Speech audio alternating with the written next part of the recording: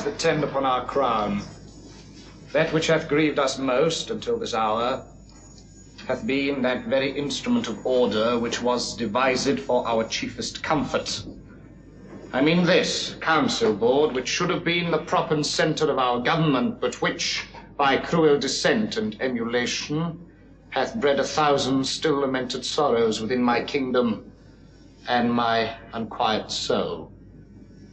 Therefore, my lords, upon the Queen's advice, we have new filled these places lately voided by foreign absence or untimely death, with such a kind of gentle counsellor as only is ambitious for our good.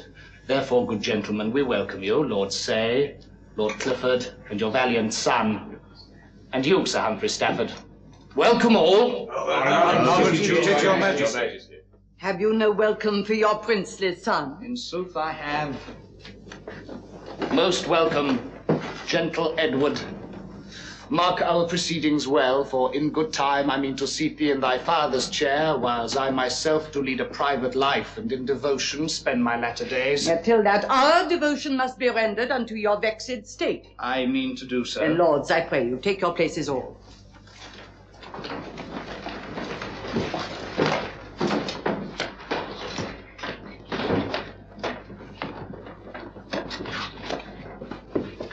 Say then, how fares the Duke of York in Ireland? With good success, the rebels are confounded. Would that this news were matched with that from France, for there rebellion thrives, and Somerset sends hither desperate posts for present help. Shall we not send the Duke of York to aid him? I would we might, but 'tis impossible that he should ever join with Somerset. And yet 'tis safest that the Duke be hence. For 'tis reported since he grew so great that there's much stirring of those ancient questions touching his title to the English throne. Alas, how many troubles do attend us. What may be done, good wife?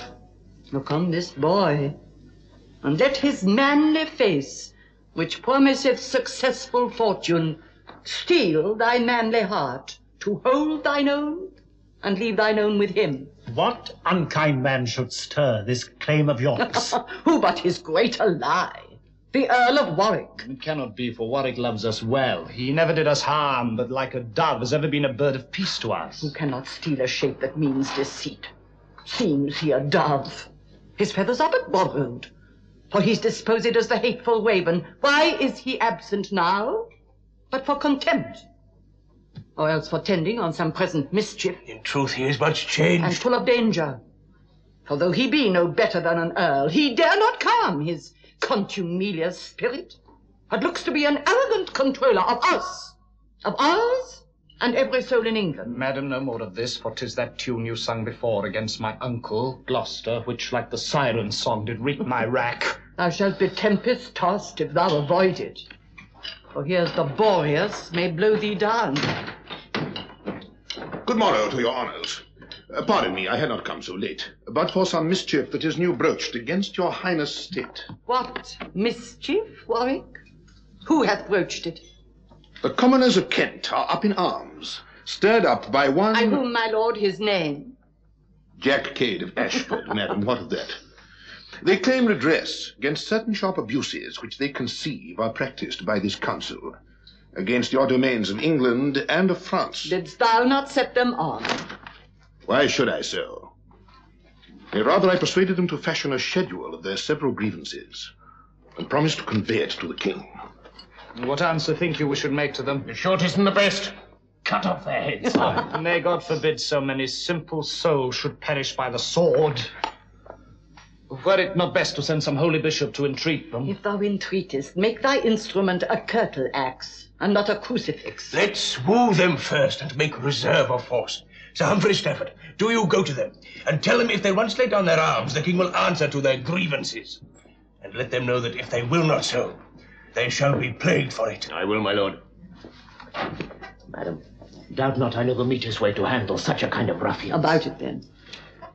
Lord say, stay here with us. The rebels hate thee and would have thy head. so might his highness person be in danger, and therefore in the city will I stay, and live alone, as secret as I may. My lords, the Kentish men draw near to London. Jack Cade proclaims himself Lord Mortimer and calls your grace usurper openly.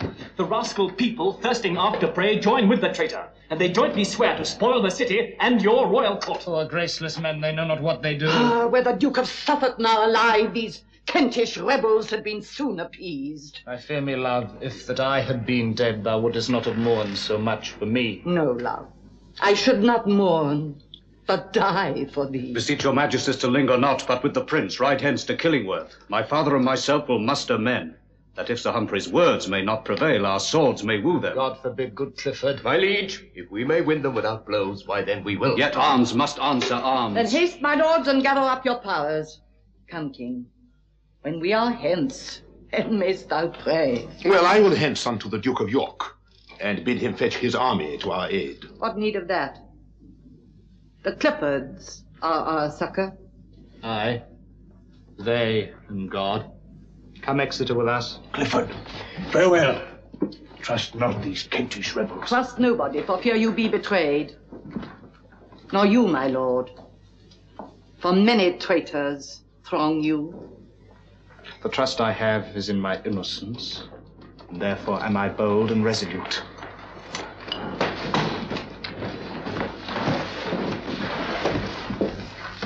Heaven preserve thee in thine innocence. And yet methinks it will be shook anon. For if Jack Cade, whom I myself did raise, thrive not in this, I'll rouse Plantagenet. For now the House of York, thrust from the crown by lofty, proud, encroaching tyranny, burns with revenging fire, whose hopeful colors advance his half-faced sun, striving to shine. 'Twas I that made his spring, and now his summer shall flourish by my means and my direction. Then, since I may no longer sway the council, 'tis swords must now uphold my policies. Then York, be king and prosper as you may. Whate'er befalls, 'tis I shall bear the sway.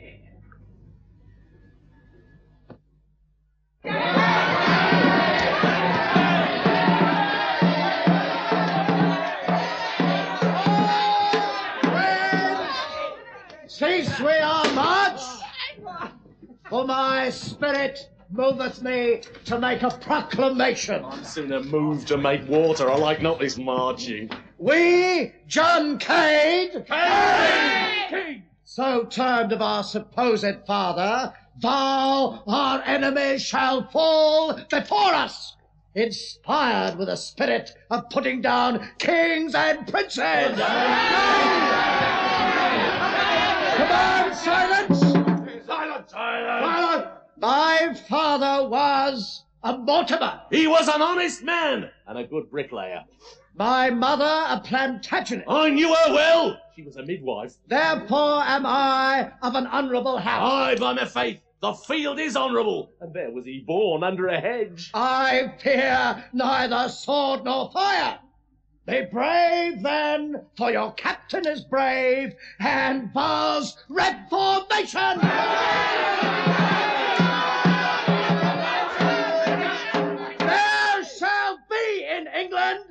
Seven halfpenny loaves for a penny.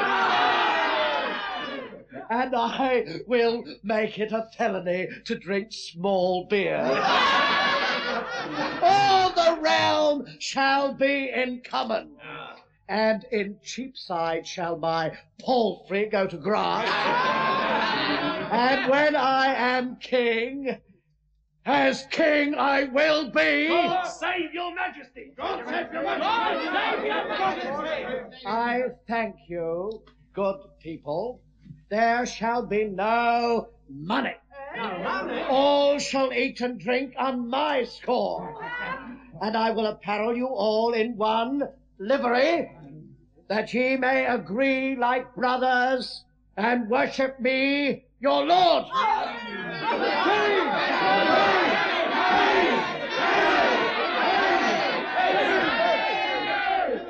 The first thing we do, let's kill all the lawyers.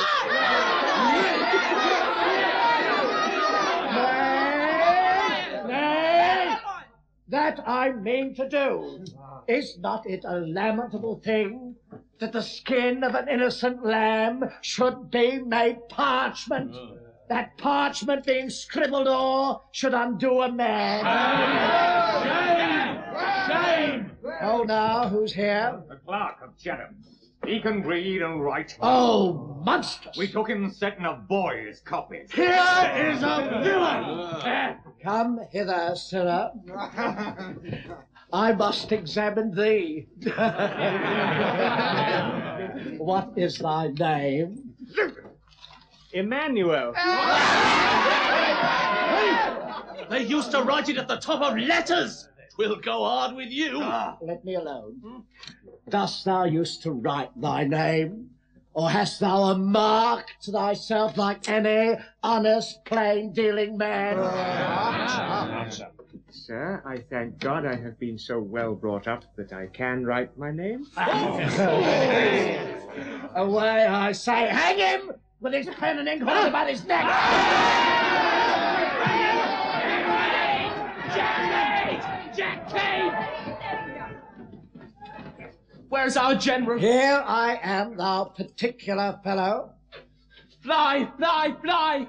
Sir Humphrey Stafford's our by with a monstrous proclamation. He shall be encountered with one as good as himself. He is but a knight, is he? Ah. To equal him, I will make myself a knight. Rise up, Sir John Mortimer.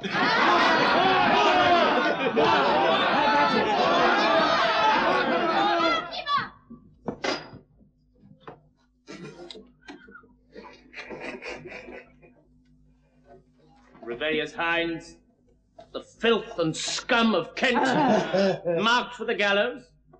Lay your weapons down. Home to your cottages. Forsake this. Groom. The king is merciful if you relent, but angry, wrathful, and inclined to blood if you go forward. Therefore yield or die. As for this scarlet-coated slave, I pass not. It is to you, good people, that I speak, over whom in time to come I hope to reign, for I am rightful heir unto the English crown, being descended from Lord Mortimer. Jack Cade, the Duke of York hath taught you this. He lies, for I invented it myself. Go to, sirrah, tell the king for me, that for his father's sake, Henry the Fifth, I am content that he should reign. But I'll be protector over him.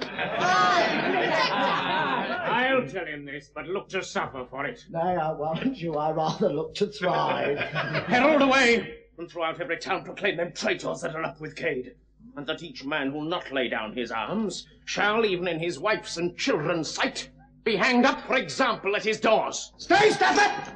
For I mean to make example too. What say you all? As we are king, are not these threats a treason to us all? And shall we not punish the traitor that utters it? Nay, hanging is for honest men.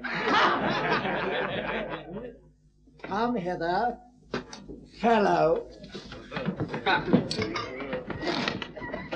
What? Would you murder me? Nay, sirrah, I rather mean to weed you. Why think you that we bear bills and hooks and hoes? We are a kind of gardeners to the common commonweal, and mean no greater harm than weeding. Therefore, Sir Humphrey, content yourself, for you must be plucked out.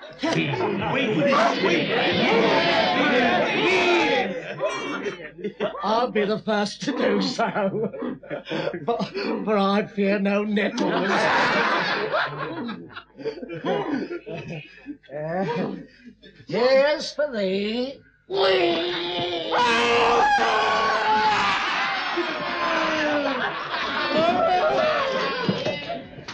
His body shall be dragged at my horse's heels till we reach London. I will have the mayor's sword borne before you. As we mean to thrive and do good, let's break open the jails and let out all the prisoners!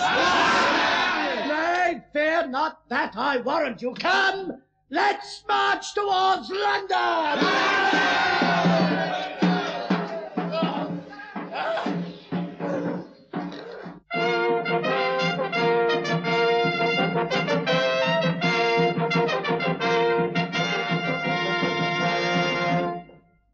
What would the Duke of Somerset with France? I claim the tribute due unto my king, which Charles the Dauphin, thy deceased father, did swear to render us. Perchance he swore it, but I did not, and that was long ago. As thou inherited his crown and kingdom, thou art inheritor unto his oaths. Why need you tribute, but to pay your soldiers to shed the blood of mine own countrymen? I shed no blood of those that keep the truce, but of such traitors you yourself set on to make revolts within our territory. If they revolt, 'tis not at our behest, but for they hate your buzzard garrison. They owe allegiance to the King of England, and did acknowledge him their lawful king by right descent, and by the will of heaven. What an they did.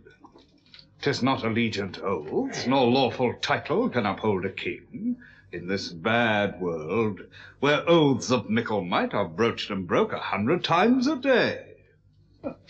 Think'st thou I bear the sway by such light sanctions? Nay, I am hallowed in my people's hearts, and do command such earthly puissance as daily waxeth, while your English wanes. I am more strong in France than Henry is. I am more loved in France than Henry is, and owe more loyalty than Henry doth. These are my sanctions. Until he command such strength, such love, such loyalty in Gallia, let him not ask for tribute. Tell thy master. Oh, perjured Frenchman! Dare you break your oaths? Do you not fear that God will plague you for it? I know not that, but certain you may not. I may and will. Come, these are idle threats. And thou shouldst rather think thee fortunate I do not threaten thee, as well I might, and seize upon your vexed territories. Your oath once broke. What warranty have I that when you will, you may not yet attempt it? What need have I to march against your powers? I nothing doubt your king will soon remove them to underprop his own beleaguered walls, rather than make vain battery of mine. Meantime, we suffer you to linger, a tedious, churlish, and unwelcome guest, whom we will lodge, but do not mean to feed, whom, if you plain, we do not mean to heed, and whom, when you remove, we will not mourn, but speed you hence with slight contempt and scorn. When thou art in England, thy mischance is like to prove more fatal than in France.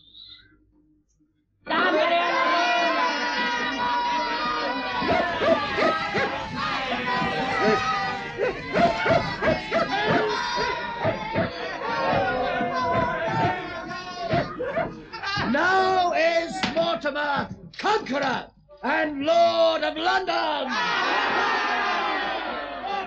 And here I charge and command that of the city's cost, the pissing conduit shall run nothing but claret wine the first year of our reign.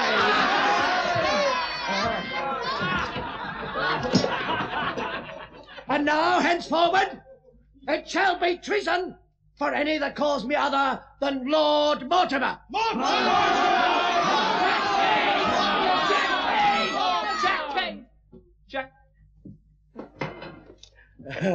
Knock him down there. If this fellow be wise, he'll never call you Jack Cade more. I think he hath a very fair warning. There's an army gathered in Smithfield. Come then, let's go fight with them. But first, set London Bridge on fire. And if you can, burn down the tower too. Burn all the records of the realm. My mouth shall be the Parliament of England. The proudest peer in the realm shall not wear a head upon his shoulders unless he pay me tribute. And there shall not a maid be married but she shall pay to me her maidenhead ere they have it. and here I charge and command that men's wives shall be as free as heart can wish or tongue can tell. Up this street, down St. Magnus Corner. Hold! What noise is this? Dare any be so bold to sound a parley with us? Well, we have a proved course with ambassadors. Let them come.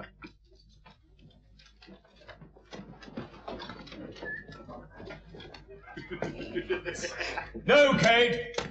We come ambassadors from the king, unto the commons whom thou hast misled, and here pronounce free pardon unto all that will forsake thee and go home in peace. Who loves the king and will embrace his pardon? Bring up his cap and say, God save his majesty. what say ye, countrymen? Will ye relent and yield to mercy whilst is offered you? God save his majesty.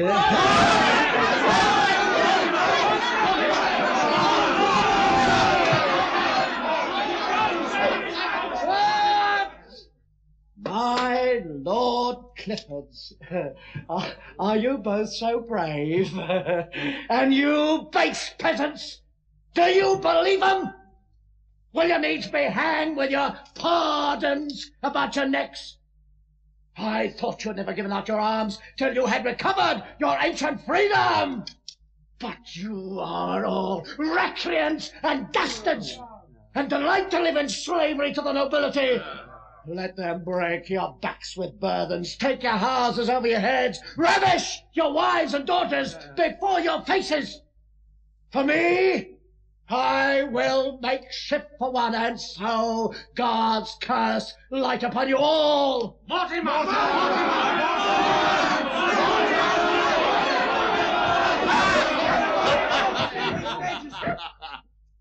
Is Cade the son of Henry the Fifth? That thus you do exclaim you'll go with him? Will he conduct you through the heart of France and make the meanest of you earls and dukes? Alas, he hath no home, no place to fly to. Nor knows he how to live, but by the spoil, unless by robbing of your friends and us. Were it not a shame that whilst you live at Jar, the fearful French, whom you late vanquished, should make a start o'er seas and vanquish you? Methinks already in this civil broil, I see them lording it in London streets, crying, Villiago! Ah. And to all they meet, better ten thousand base-born Cades miscarry than you should stoop unto a Frenchman's mercy. Ah. To France, to France, and get what you have lost. Spare England, for it is your native coast. A Clifford!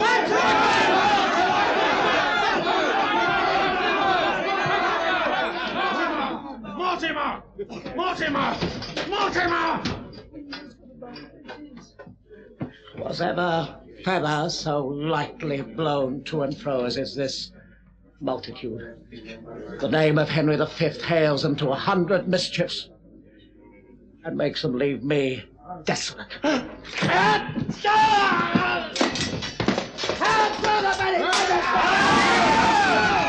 some of you, and follow him. And he who brings his head unto the king shall have a thousand crowns for his reward. Follow me, fellows, unto Killingworth. My son and I will seek a gentle means to reconcile you all unto the king.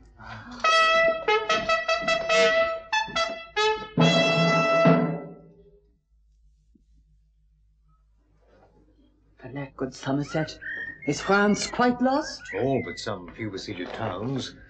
My liege, thy subjects all the seas reject thee quite, and do acknowledge Louis for their king. Alas. What boots it thee to cry, alas? What else remains? To rouse thyself. If not for thee, then for this prince's rights. Good father, take this comfort for thy cares. When I am king, I'll gain what you have lost. Ned, methinks in thee my father's spirit doth new arise. I think it doth, good father, and while I live, our house shall hold its own. Health and glad tidings, to your majesty. What news, my lord? Is Cade discomfited? Aye, he has fled, and all his powers do yield. And humbly thus with halters on their necks, expect your highness doom of life or death. What shall be done with these abhorred traitors? They have their halters and shall hang in them. That were to break my oath. My doom is mercy and to be mild unto these yielding men. They come to the Duke of Exeter. Heaven grant he bring no worse news than these have done. Uncertain news whose meaning I misdoubt. The Duke of York is newly come from Ireland. Doth he intend us harm? I fear he does. Aye, for the Duke hath not discharged his men. And Warwick and his powers are gone to meet him. Ned, I fear for thine inheritance. So do not I. As cheerful sounding to my youthful spleen, this tumult is of war's increasing broils, as at the coronation of a king. The joyful clamours of the people are when Ave Caesar they pronounce aloud. What think you then that it is best to do? What needs this question? March to London straight, and make demand of these insulting peers that they dismiss their dangerous mercenaries. That done, make study how to govern better. Burn you your holy books, and hold the sway to London lords with all expedient wing, and make York bow before his lawful king.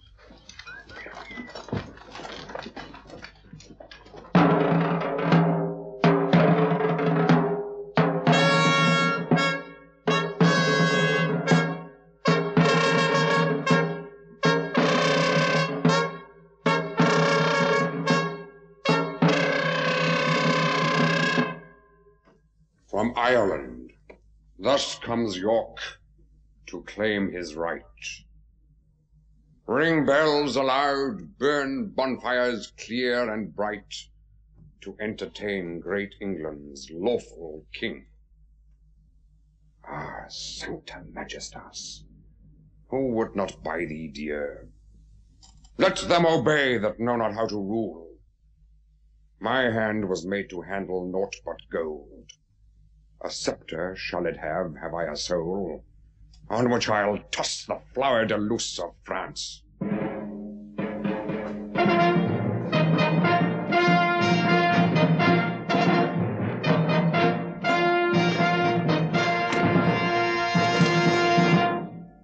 Welcome, brave lord. We thank thee, mighty Warwick.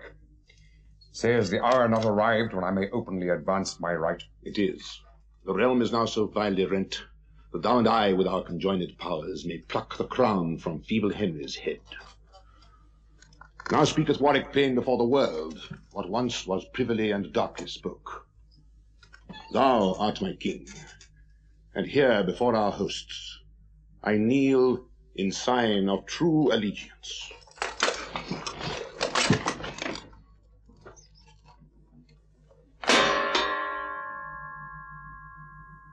Now, walk to London.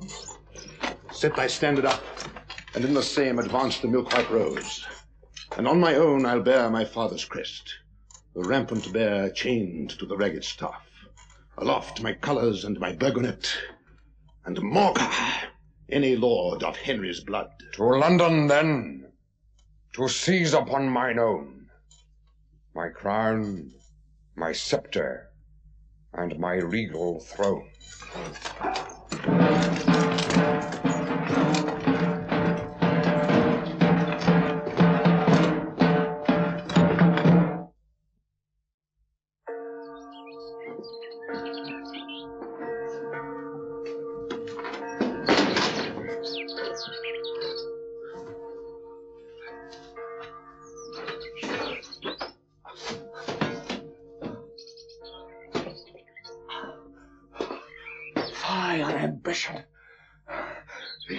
Days I hid me in these woods, durst not peep out, for the country is laid for me.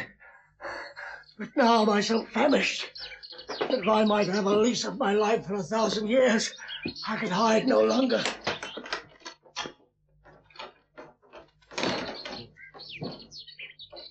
Ah, villain! Thou wilt betray me. My rude companion, whatsoe'er thou be, I know thee not, why then should I betray thee? It's not enough to break into my garden, but thou wilt brave me with these saucy terms. Brave thee? Now look on me well. I've eaten no meat these five days. But come thou and thy five men, and I'll leave you as dead as a doornail. Nay, never shall be said while England stands that Alexander Iden and his squad of Kent took odds to combat a poor famished man. If mine arm be heaved in the air, thy grave is digged already in the earth. For thy valor, the most complete champion that ever I heard. I'll make eat iron like an ostrich, and swallow my sword like a great pin.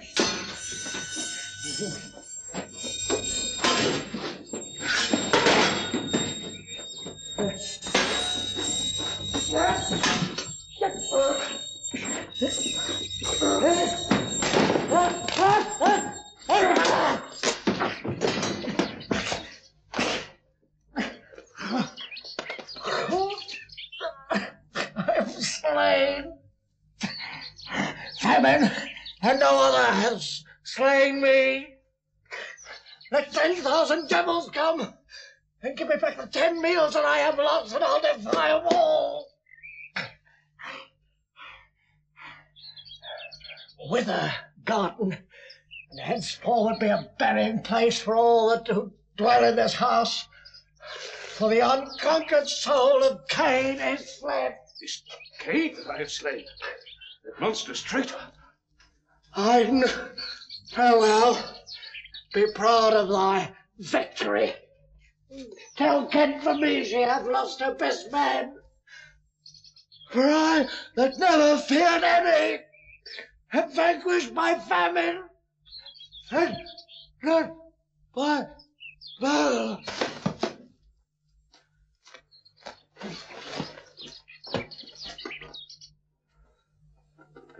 Die, damned wretch. The curse of her that bare thee. Hence will I drag thee, drained of rebel blood, unto a dunghill which shall be thy grave, and there cut off thy most ungracious head, leaving thy trunk for crows to feed upon.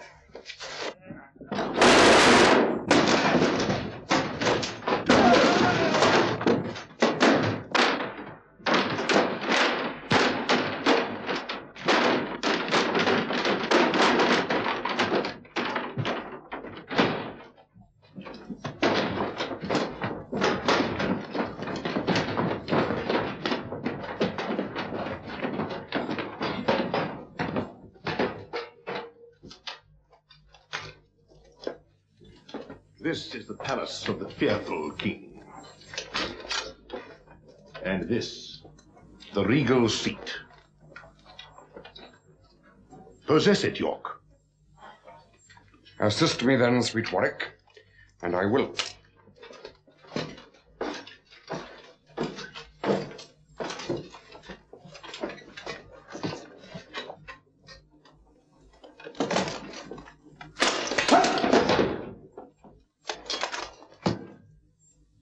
Plantagenet is planted. Root him up who dares. By words or blows, I will maintain my right. Tis best by words, if that be possible. So thou mayst rule by general consent. Then let our first assault be made against the conscience of the king.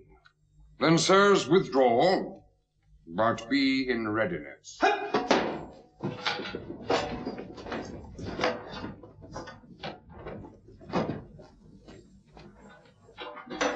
Queen this day here holds her parliament. Little thinks we shall be of her council. Neither the queen, the Cliffords, nor the rest dare stir a wing if Warwick shake his bells.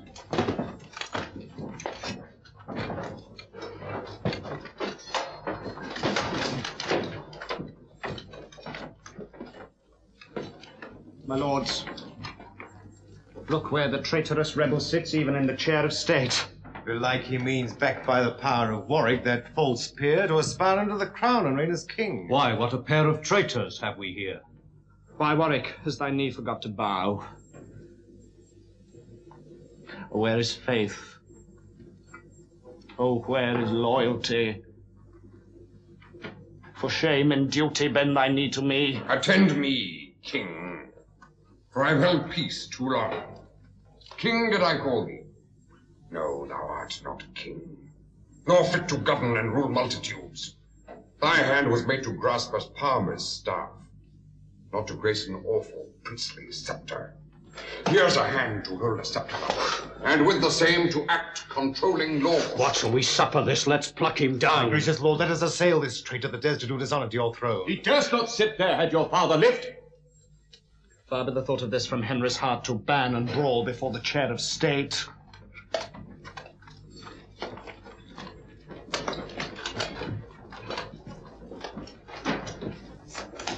Thou factious Duke of York, descend my throne and kneel for grace and mercy at my feet. I am thy sovereign. Thou art deceived. I am thine. Will you we show our title to the crown? If not, our sword shall prove it in the field. What title hast thou, traitor to the crown? I am the son of Henry the Fifth. Whose father got the crown by right of conquest. Peace, Lord, and give this Henry leave to speak. Plantagenet shall speak first. Hear him, lords, and be you silent and attentive too. Think thou that I will leave my kingly throne wherein my grandsire and my father sat? His title's good and better far than yours. Then prove it, Henry, and thou shalt be king.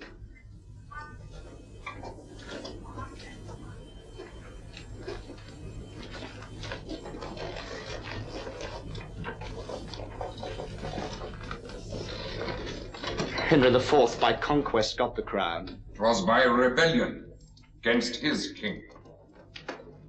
I know not what to say, my title's weak. Tell me, may not a king adopt an heir? And if he may? Then I am lawful king, for Richard, in the view of many lords, resigned his crown to Henry the Fourth. He rose against him, being his sovereign, and made him to resign his crown perforce. Didst thou not swear allegiance unto me? I did. Canst thou dispense with heaven for such an oath?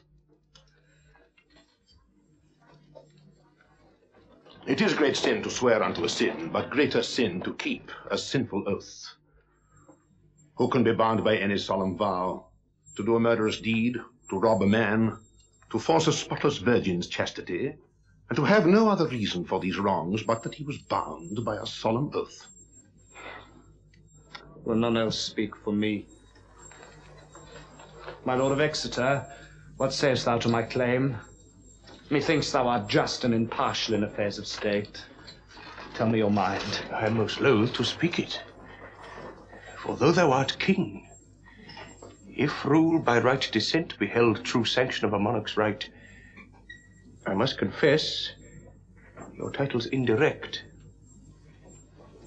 And York's more lawful and legitimate. But, lords, consider. If we should proceed by strict observance of all lawful form, what kingly title ever could withstand some delving question of the doubtful past? Methinks that what was done by Bolingbroke was darkly done, but nevertheless 'twas done. And what's long done is best to hold unto. England has bled too long for Richard's death. Oh, then conclude what's past is past repair. And honor Henry now as Richard's heir. Aye. What care I do pry into the past? King Henry, be thy title right or wrong, the Cliffords vow to fight in thy defence.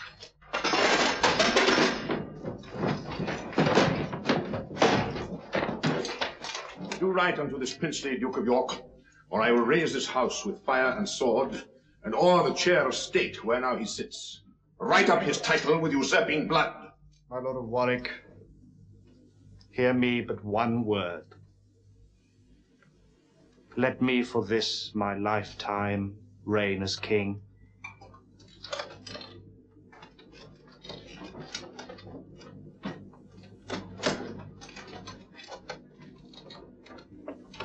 Confirm the crown to me and to mine heirs, and thou shalt reign in quiet while thou livest.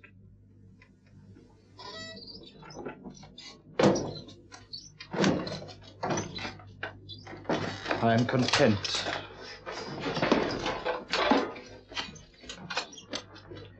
Richard Plantagenet, Be thou protector whilst I am alive, and enjoy the kingdom after my decease.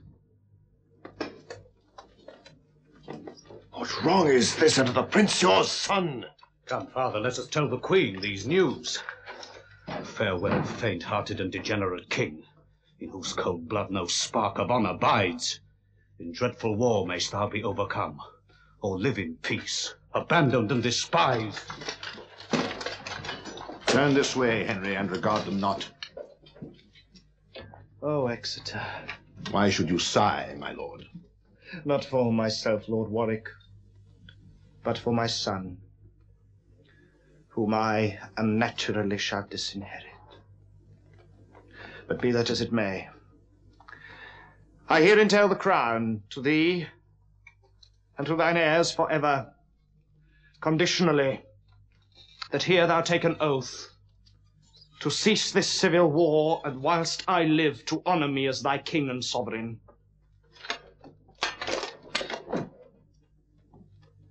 This oath I willingly take and will perform.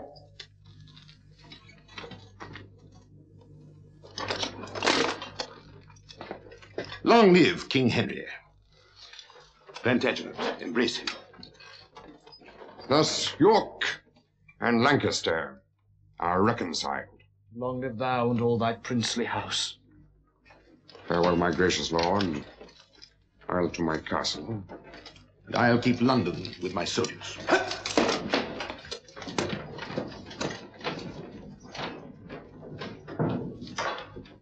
I, with grief and sorrow, keep my court. Here comes the queen. Wretched man. Would I had died a maid, and never seen thee, never borne thee son, seeing thou hast proved so unnatural a father. Hadst thou but loved him half so well as I, or felt that pain which I did for him once, thou wouldst have left thy dearest heart blood there, rather than have made that savage duke thine heir, and disinherited thine only son. Father, you cannot disinherit me. If you be king, why should not I succeed? Pardon me, Margaret. Pardon me, sweet son. The Earl of Warwick and the Duke enforced me. Enforce thee? Art thou king and wilt be forced? Ashamed to hear thee speak. Timorous wretch. Thou hast undone thyself, thy son, and me, and given unto the house of York such head as thou shalt rule but by their sufferance. To entail him and his heirs unto the crown, what is it but to make thyself a sepulchre, and creep into it far before thy time? Warwick is chancellor, and the Lord of Calais, the Duke is made protector of the realm. And yet shalt thou be safe. Such safety finds the trembling lamb environed with wolves. Had I been there, which am a silly woman, the soldiers should have tossed me on their pikes before I would have granted to that act. But thou preferst thy life before thine honour. And seeing thou dost, I here divorce myself both from thy table, Henry, and thy bed, until that vow to York shall be revoked, whereby my son is disinherited. The northern lords that have forsworn thy colours will follow mine, if once they see them spread, and spread they shall be to thy foul disgrace and utter ruin of the house of York. Thus do I leave thee. Come, son, let's away. Gentle son, Edward, thou wilt stay with me. When I return with victory from the field, I'll see your grace. Till then, I'll follow her. Our arm is ready. Come, we'll follow it.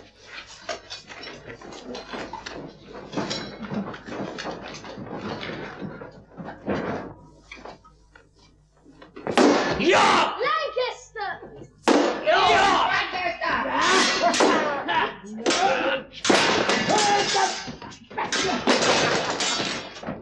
I am the eldest, therefore list to me. I am the strongest. Look, you heed me well. But George can better play the orator. My pretty brothers, mark my argument, for I have reason, strong and forcible. Though I be youngest, I have reason to Turn our sons! What is your quarrel? Who began it first? Oh, no quarrel, but a slight contention. Upon what cause, good Edward? That cause which doth concern your grace and us. The crown of England, father, which is yours. Mine boy. Not till King Henry be dead. Your rights depends not on his life or death. Now you are heir, therefore enjoy it now. By giving the House of Lancaster leave to breathe, it will outrun you, father, in the end. Think you how sweet it is to wear a crown within whose circuit is Elysium and all that poets feign of bliss and joy? I gave an oath that he should quietly reign. But for a kingdom, any oath may be broken. I would break a thousand oaths to reign one year. No. God forbid your grace should be forsworn. Ah, I shall be, if I claim by open war. I'll prove the contrary if you'll hear me speak. Thou canst not, son, it is impossible. An oath is of no moment, being not took before a true and lawful magistrate that hath authority over him that swears.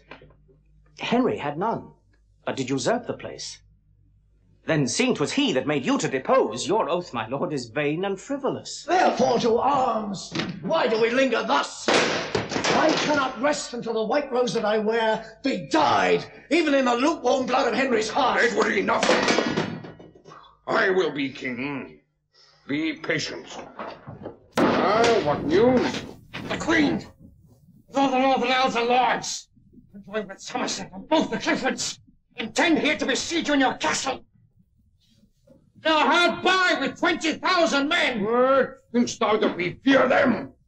No, I am glad on it. Since Henry's oath is broken, mine is void, and we may shed their blood without dishonor. Let's meet them in the field. What, with 5,000? Oh, ah, woman, General, what have we to fear?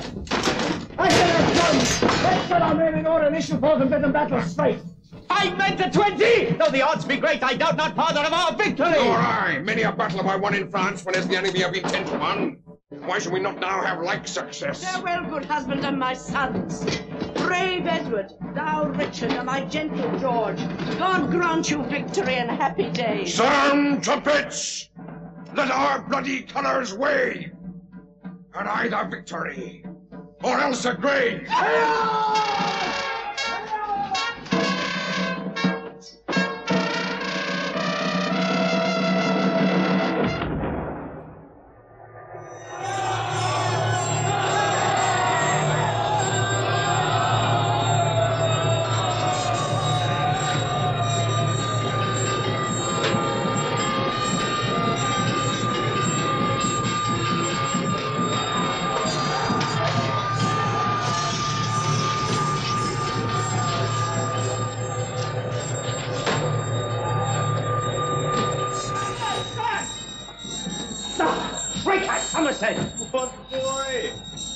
Traitor, not Somerset.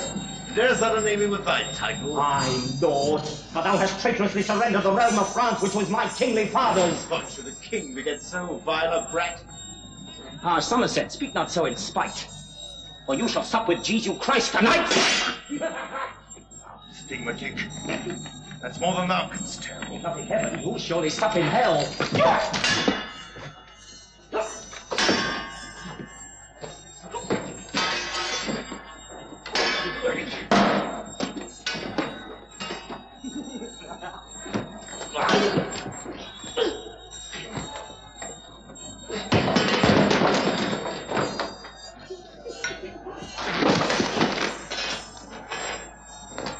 Lie thou there, crest-fallen Somerset.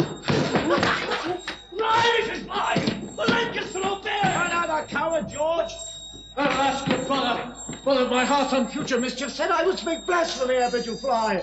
But fly we must, the Cliffords rage like two enchanted bulls, and smite our fearful and resistless soldiers. We chant them on with justice of our cause, and all in vain. They've no heart to fight. Now is it manhood, wisdom, and defense to get the enemy way, and to secure us. Edward, shall we leave our father, thy sin? We remain when all the rest are fled. Our house will perish quite.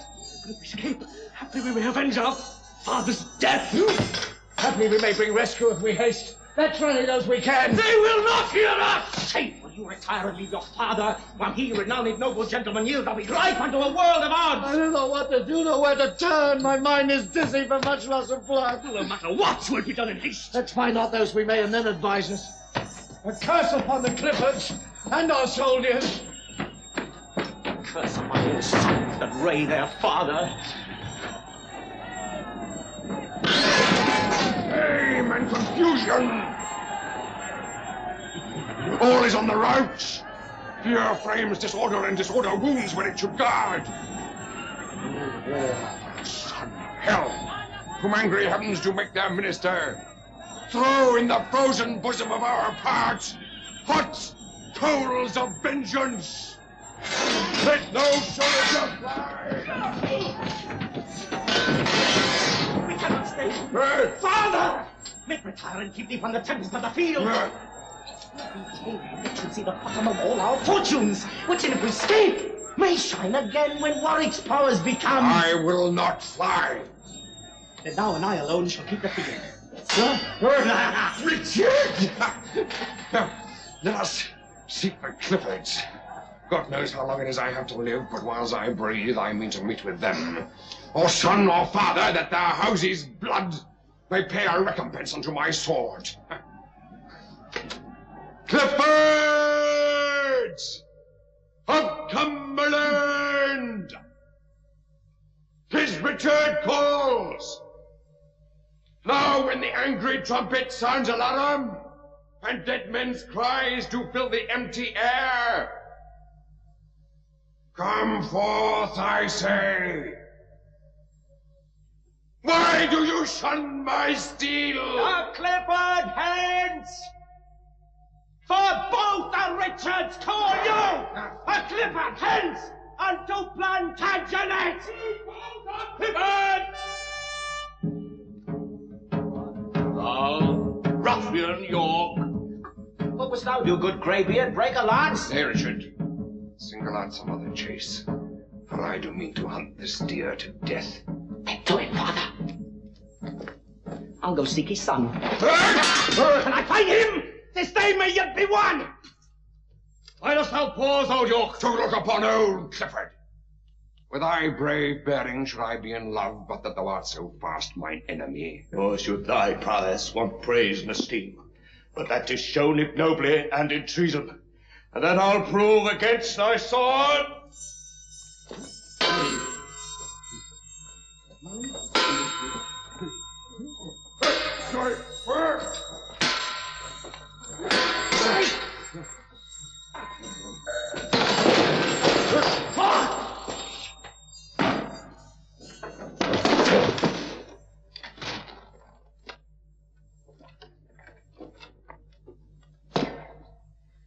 War hath given thee peace, for thou art still. Peace with his soul, heaven, if it be thy will. Where are my sons? Oh, but I find them out. The sands are numbered that make up my life. Where's my father? Clifford calls on Clifford, that we may share the glory of this day.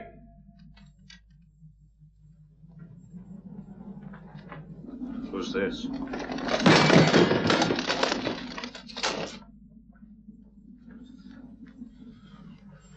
Oh, heavens.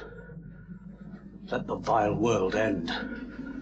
And bid the general trumpet blow his blast. Particularities and petty sounds to cease. Even at this sight my heart is turned to stone. And whilst 'tis mine, it shall be stony. York, not our old men spares. No more will I their babes. Tears virginal shall be to me, even as the dew to fire henceforth. I will not have to do with pity.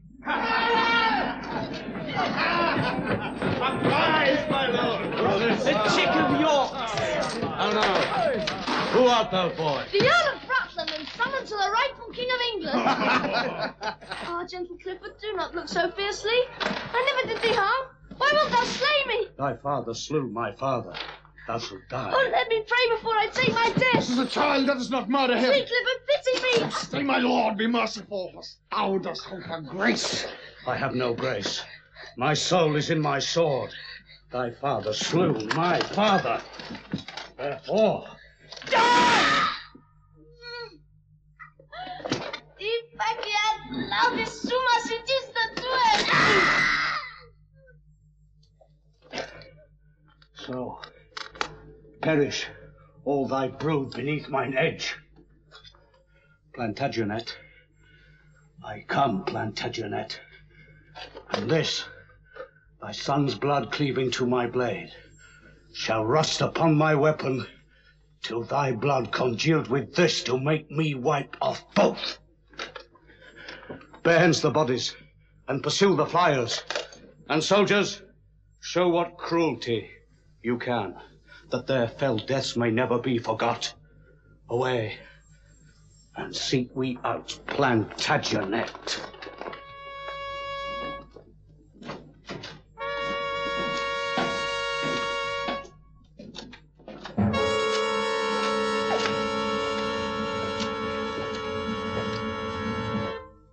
Army of the Queen has got the field.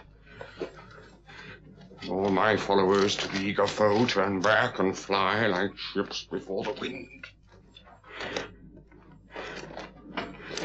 My son, God knows what hath bechanced them.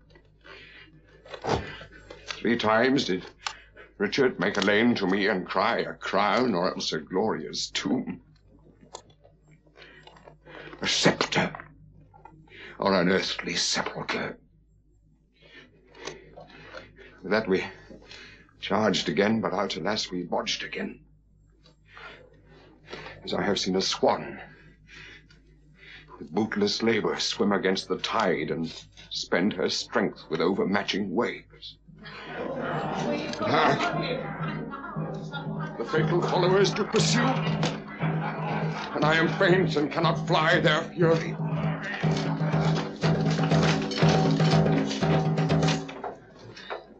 Come, bloody Clifford. Come, thou faithful queen. I am your butt, and I abide your shot. Yield to our mercy, proud Plantagenet. I to such mercy as his ruthless arm with downright payment showed unto my father. What will your grace have done unto him now? Come! Make him stand upon this molehill here, that watered mountains with outstretched arm, yet parted but the shadow with his hand. My ashes, as the phoenix, may bring forth a bird that will revenge upon you all. And in that hope I raise mine eyes to heaven, scorning whate'er you can afflict me with. What? Was it you that would be England's king? Was you that revelled in our parliament and made a preachment of your high descent? Where is your mess of sons to back you now?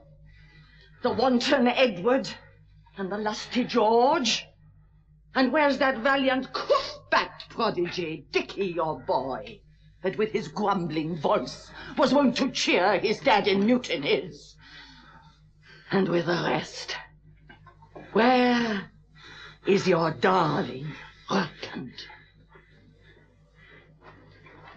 Look, York, I stained this napkin with the blood that valiant Clifford with his rapier's point made issue from the bosom of the boy. and if thine eyes can water for him now, I give thee this to dry thy cheeks withal.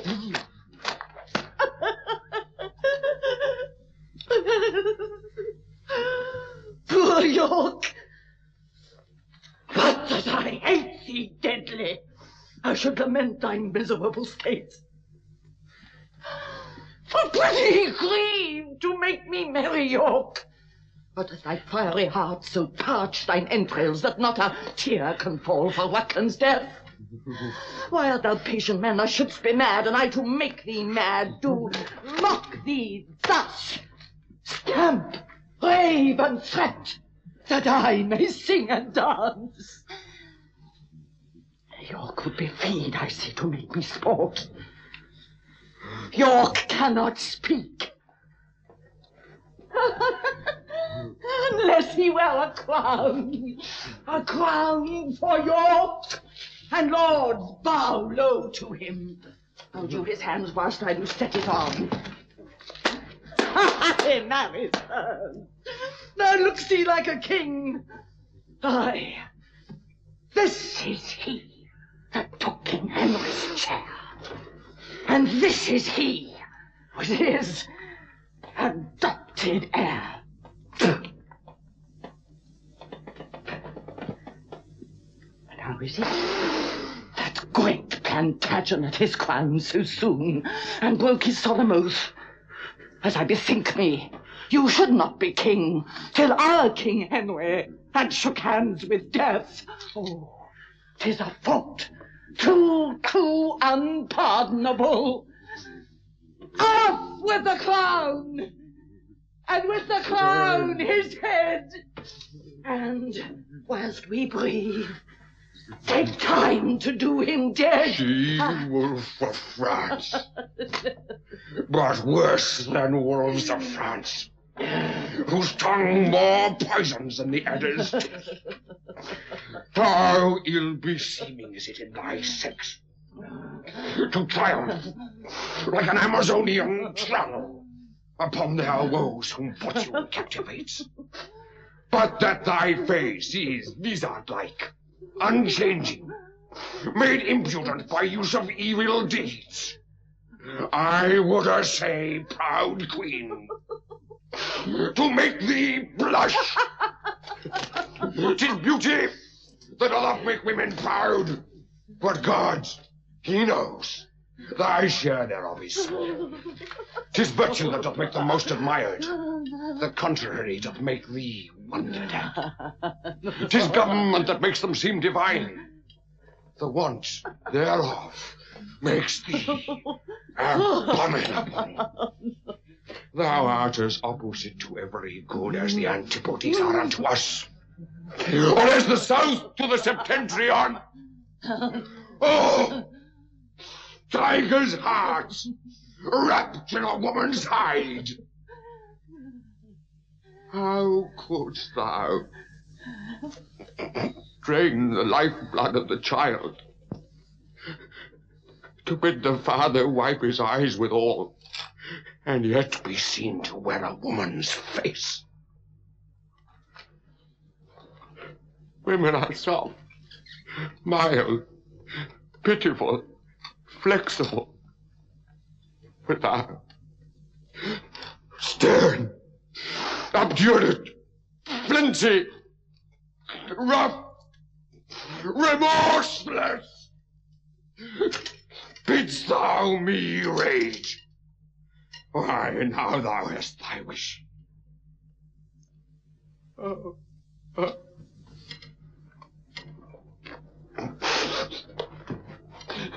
Wouldst have me weep? Why, now thou hast thy will. Oh, these tears are my sweet Rutland's obsequies, and every drop cries vengeance for his death. Against thee, fell Clifford, and thee, false Frenchwoman. Beshrew me, but his passion moves me so that hardly can I check my eyes from tears. That face of his.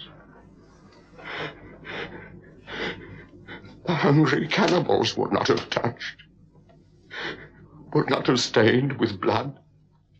But you are more inhuman, more inexorable, oh, ten times more than tigers of Hyrcania.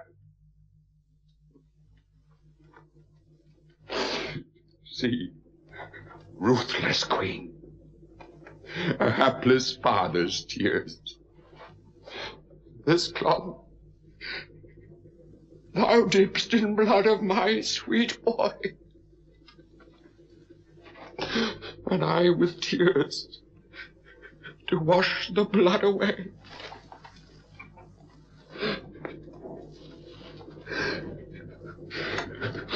Take thou the napkin and go boast of this. Up. Take the crown, and with the crown my curse. And in thy need, such comfort come to thee, as now I reap at thy too cruel hand. Had he been slaughterman to all my kin, I could not for my life but weep with him to see how endless sorrow gripes his soul. Weeping white, my lord of Exeter. Think but upon the wrong he did us all, and that will quickly dry thy melting tears. Here's for my oath. Here's for my father's death. Here's to right, our mm-hmm. gentle-hearted mm-hmm. king.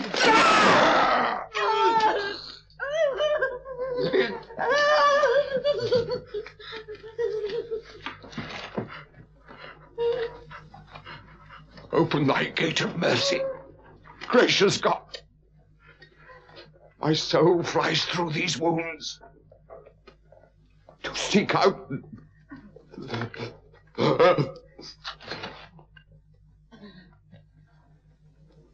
Oh. With his head. Set it on York gates. That York may overlook the town of York.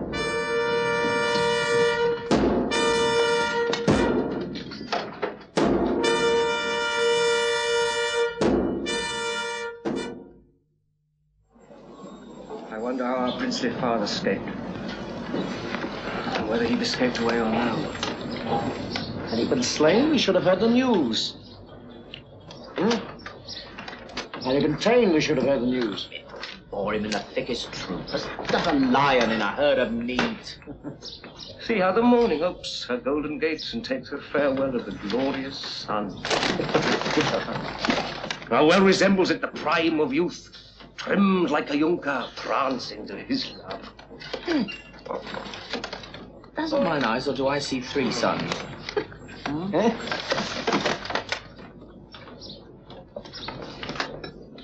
Three glorious suns. Each one a perfect sun. Not separated with the wrecking clouds, but severed in a pale, clear shining sky. See, see. They join, embrace, and seem to kiss. As if they vowed some league inviolable. Now are they but one lamp, one light, one sun? In this the heaven figures some event. Tis wondrous strange. The like yet never heard of. I think it cites us brothers to the field. That we, the sons of brave Plantagenet, each one already blazing by our meads, should notwithstanding join our lights together and overshine the earth as this the world. Whate'er it bodes, henceforward will I bear upon my target three fair shining suns. Nay, bear three daughters. Hmm? Why you leave I speaking? You love the breeder better than the male.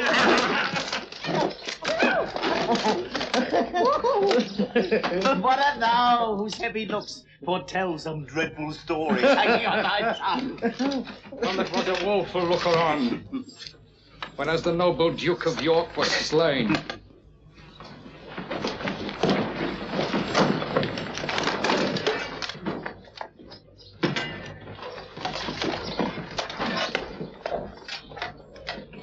Say how he died, for I will hear it all. Environed he was with many foes, but only slaughtered by the ireful arm of unrelenting Clifford and the Queen, who crowned the gracious Duke in eye despite. And after many scorns, many foul taunts, they took his head. And on the gates of York they set the same, and there it doth remain. Clifford! Boisterous Clifford! Thou slain the flower of Europe! Treacherous. Hast oh, thou vanquished him? Never, oh, never shall I see more joy. I cannot weep, for all my body's moisture scarce serves to quench my furnace burning heart. Tears are for babes. Blows and revenge for me. Richard, I bear thy name. I'll venge thy death.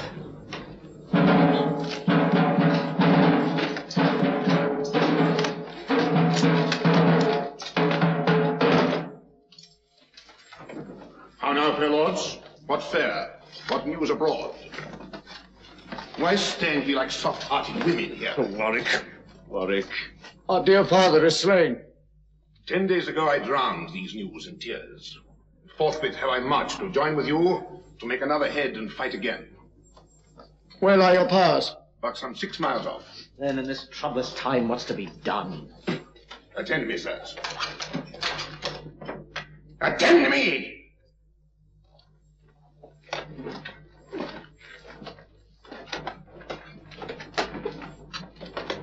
The proud insulting queen, Clifford, and that Nestor Exeter have wrought the easy melting king like wax.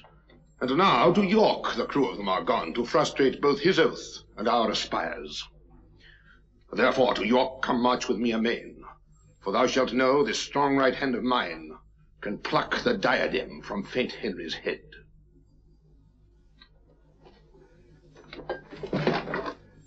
Then, Warwick, on thy shoulder will I lean. And when thou fall'st, as God forbid the hour, must Edward fall. Which peril heaven forfend. Then King of England shalt thou be proclaimed, in every borough as we pass along.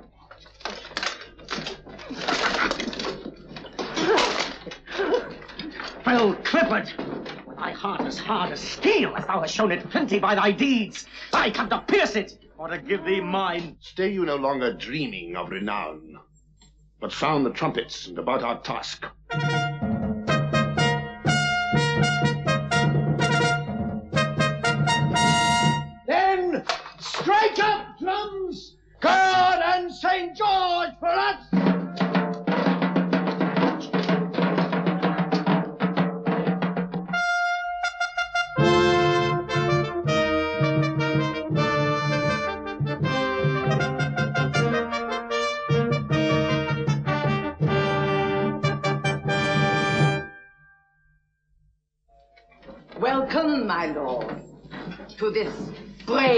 Town of York. Yonder's the head of that arch enemy that sought to be encompassed with thy crown. Doth not its object cheer your heart, my lord? To see this sight, it irks my very soul. My gracious liege, this too much lenity and harmful pity must be laid aside. Ambitious York did level at thy crown. Thou, being our king, blessed with a goodly son, did yield consent to disinherit him. Were it not pity that this goodly boy should lose his birthright by his father's fault, and long hereafter say unto his child what my great-grandfather and grandsire got, my careless father fondly gave away. Clifford, tell me, didst thou never hear that things ill got had ever bad success? I'll leave my son my virtuous deeds behind. Would that my father had left me no more. My lord, cheer up your spirits, your foes are nigh. And this soft courage makes your followers faint. You promised knighthood to our forward son. Unsheathe your sword and dub him presently. Edward, kneel down.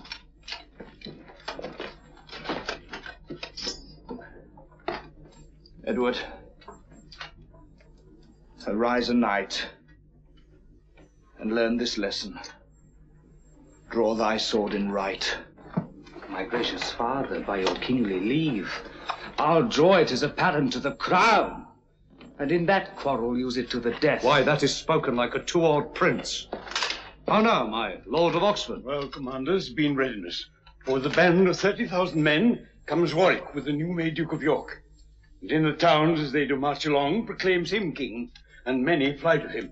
To arraign your battle for the earth's hand. I would your highness would depart the field. The queen hath best success when you are Aye, absent. my good lord, and leave us to our fortune. Why, that's my fortune too, therefore I'll stay.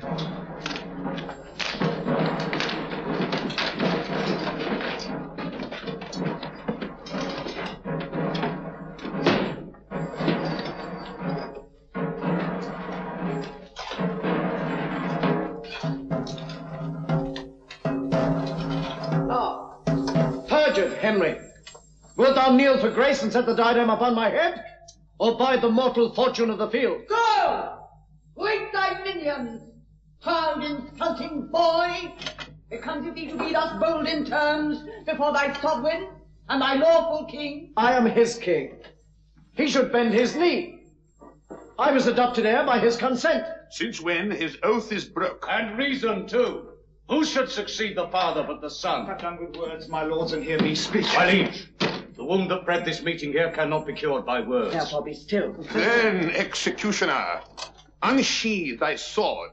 Aye, so we will. And here I unsheathe mine to prove my father's right upon your heads. Whoever got thee, there thy mother stands, for well I wot thou hast thy mother's tongue. But thou art neither like thy dam nor sire, but like some foul misshapen stigmatic. Outcast of Naples, England's bloody scourge! Shamest thou not, knowing from whence thou art extraught, to let thy tongue detect thy base-born heart? A wisp of straw were worth a thousand crowns to make this shameless callet know herself. For what hath broached this tumult but thy pride? Hadst thou been meek, our title still had slept. Therefore in resolution I defy thee, not willing any longer conference, since thou deniest thy gentle king to speak. Hey, Edward! No, wrangling woman, will no longer stay. These words will cost ten thousand lives this day.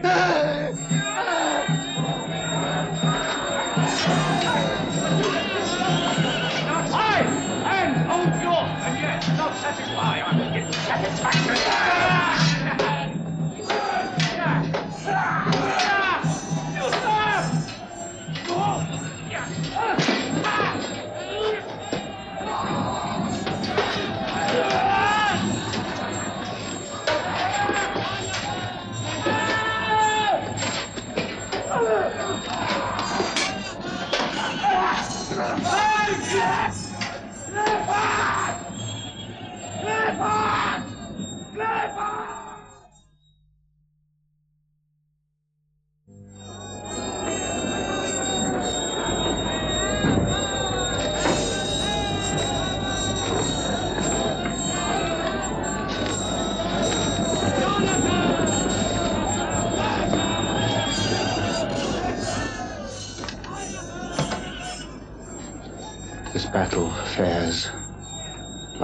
Morning's war,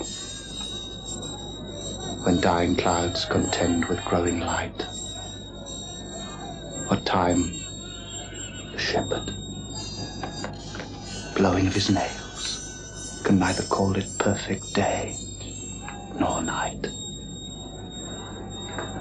Now sways it this way, like a mighty sea forced by the tide to combat with the wind.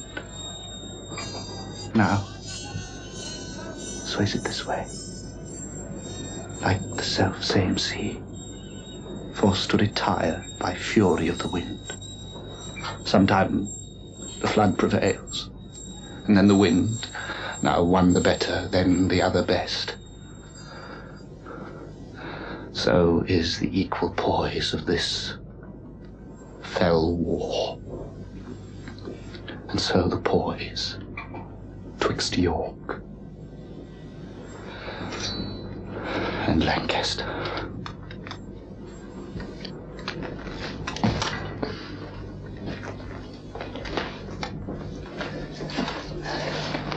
Here, on this molehill, will I sit me down.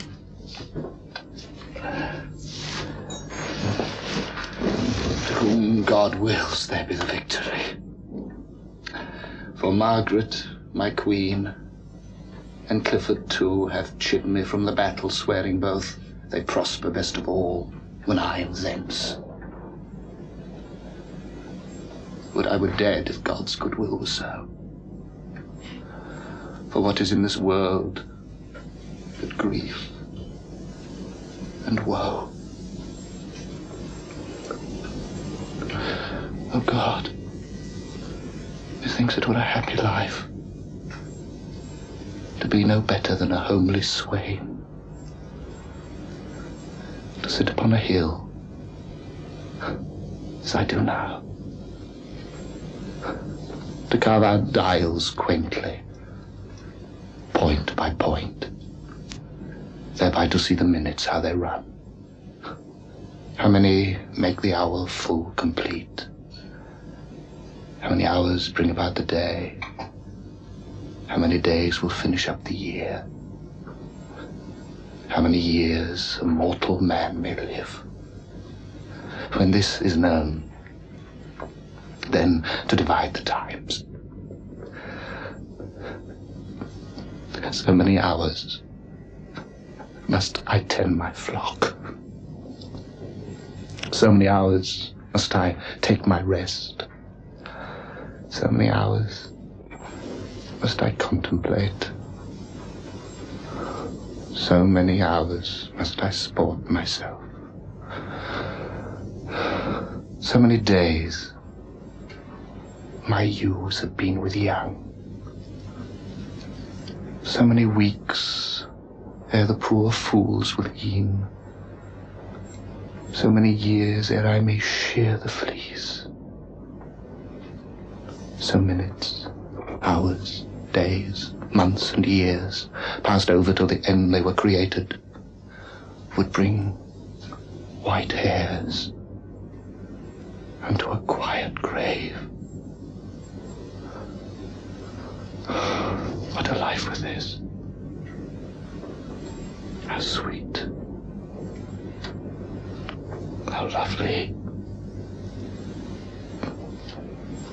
Gives not the hawthorn bush a sweeter shade to shepherds looking on their silly sheep than doth a rich embroidered canopy to kings that fear their subjects' treachery.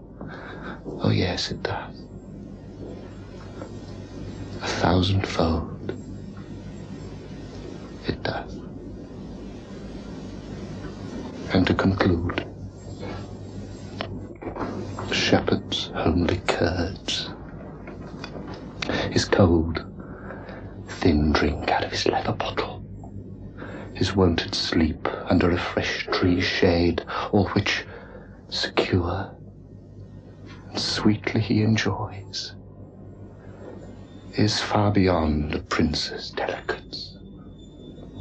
His viand sparkling in a golden cup, his body couched in a curious bed, when care, mistrust, and treason wait on him.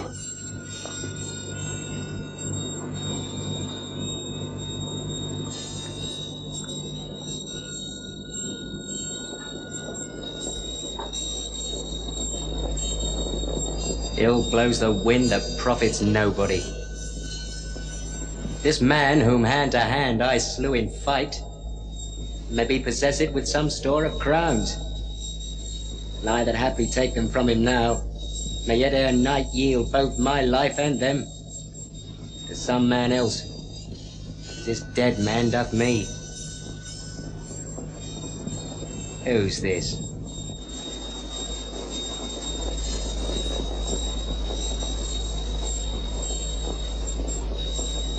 Oh God. It is my father's face. Oh, heavy times begetting such events. From London by the king was I pressed forth. My father, being the Earl of Warwick's man, came on the part of York, pressed by his master. And I, who at his hands received my life, have by my hands of life bereaved him. Pardon me, God, I knew not what I did. Pardon, Father, for I knew not thee. Oh, piteous spectacle. Oh, bloody times.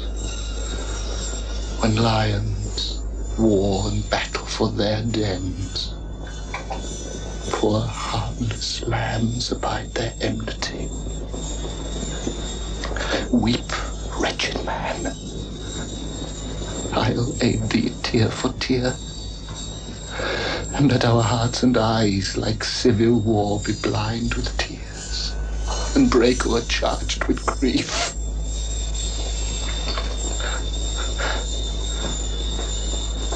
Thou that so stoutly hast resisted me, give me thy gold, if thou hast any gold, for I have won it with a hundred blows. But let me see, is this our foeman's face?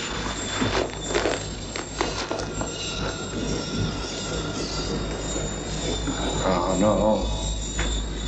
Oh, no. It is mine only son. Oh, pity God this miserable age. What stratagems, how foul, how butcherly. Erroneous, mutinous, and unnatural. This deadly quarrel daily doth beget. Pity. Pity. Gentle heaven, pity. The red rose and the white are on his face. Wither one rose and let the other flourish. If you contend, a thousand lives must wither. Why will my mother for a father's death take on with me and ne'er be satisfied?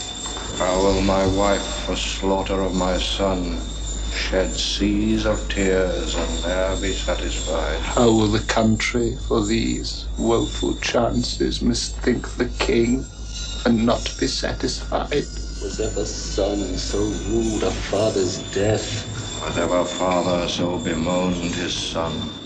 Was ever king so grieved for subjects' woe? Much is your sorrow. Mine, ten times so much. I'll bear thee hence where I may weep my fill. For I have murdered where I should not kill.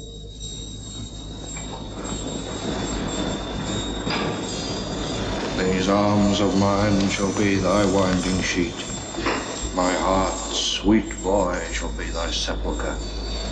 I'll bear thee hence, and let them fight that will, for I have murdered where I should not kill. Sad-hearted men, much overgone with care. Here sits a king, more woeful than you are.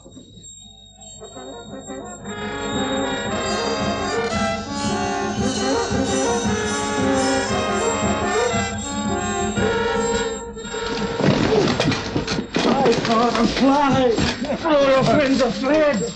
Oh, where is more death does hold us in pursuit? Edward and Richard, like a brace of greyhounds having the fearful flying hare in sight, are at our backs, and therefore hence the maid. Away, for vengeance comes along with them. Come thou with me, lest they seize on your person. Let me die and let them fight that will. For I have murdered where I should not kill.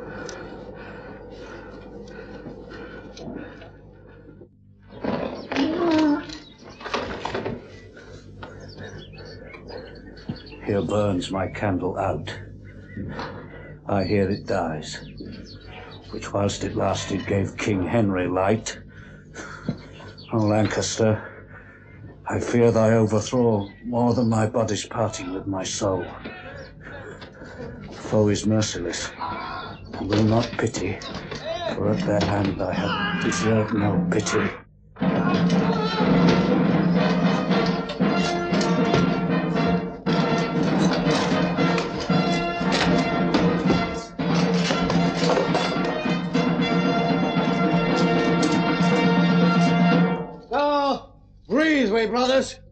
Fortune bids us pause. Some troops, pursue the bloody-minded queen. And thou, good Norfolk, take our swiftest horse and seek the king. Trust me, I'll find him out. What think you, George? Did Clifford fly with him? No, it is impossible he should escape. Your brother Richard marked him for the grave. Mm. Whose soul is that which takes its heavy leave? I see who it is. Now the battle's ended, if friend or foe, let him be gentle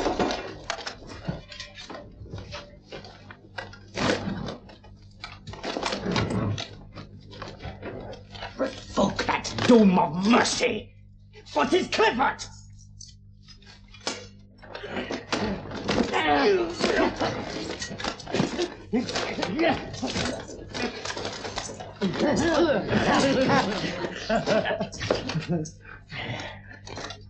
From off the gates of York, fetch down the head. Your father's head, which Clifford placed there. Instead whereof, let this supply the room.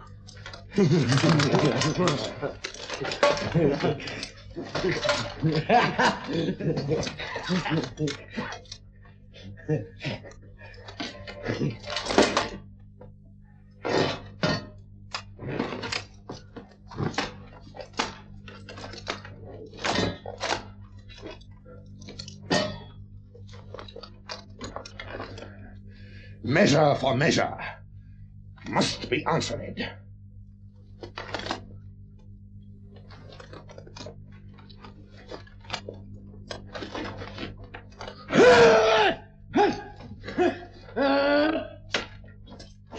Now is the house of York indeed secure, since we have lopped off Lancaster's chief arm. Richard, I will create thee Duke of Gloucester and George of Clarence. Warwick as ourselves shall do and undo as him pleases best. Let me be Duke of Clarence, George of Gloucester. Hmm? For Gloucester's dukedom is too ominous. that, that's a foolish observation. Richard be Duke of Gloucester. Now, to London to see these honours in possession. From whence shall Warwick cut the sea to France and ask the Lady Bona for thy queen? Bona? I'd liefer marry Margaret. I'll wed no woman that doth please me not. Bona of France shall please thy kingdom, lord. So shalt thou sinew both these lands together, and shall confirm that peace my arms have wrought you. Then as thou wilt, Lord Warwick, let it be. For never will I undertake the thing wherein thy counsel and consent is wanting. Then set on, for if we slack this fair, bright summer's day, sharp winter showers will mar our hope for hay. Ah, by my faith, our sun shines threefold bright, and Towton's battle, won by famous York, shall be eternized in all age to come.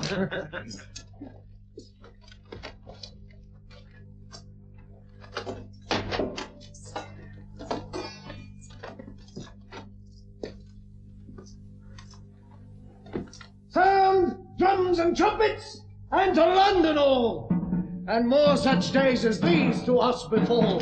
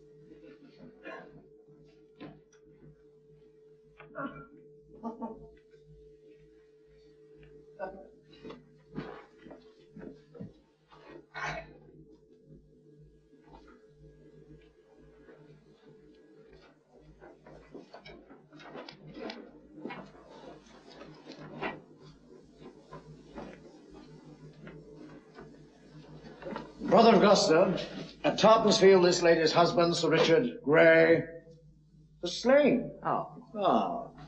His lands then seized on by the conqueror.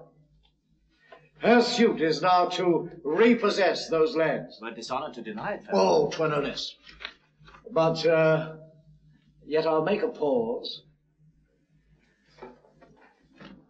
Is it so? Then I see the lady has a thing to grant before the king will grant her humble suit. He knows the game, how true he keeps the wind.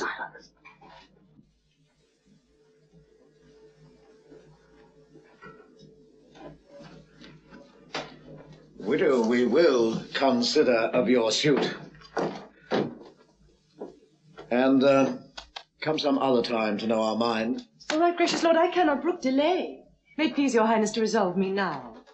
And what your pleasure is shall satisfy me. Aye, widow, then I'll warrant you all your lands, and if what pleases him shall pleasure you. Uh, lords, give us leave. I'll try this widow's wit.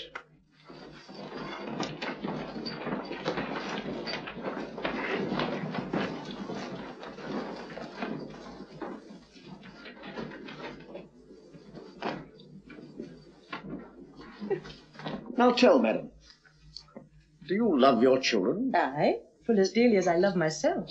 And would you not do much to do them good? To do them good, I would sustain some harm. Then get your husband's lands to do them good. Therefore I came unto your majesty. I'll tell thee how these lands are to be got, What you command, that rests in me to do. but you will take exception to my boon. No, gracious lord, except I cannot do it. Well, thou canst do what I mean to ask. Why, then I will do what your grace commands. He plies her hard, much rain wears the marble. As red as fire, nay, then her wax must melt.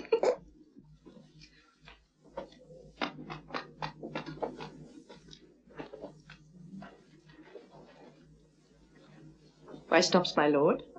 Shall I not hear my task? An easy task. Tis but to love a king.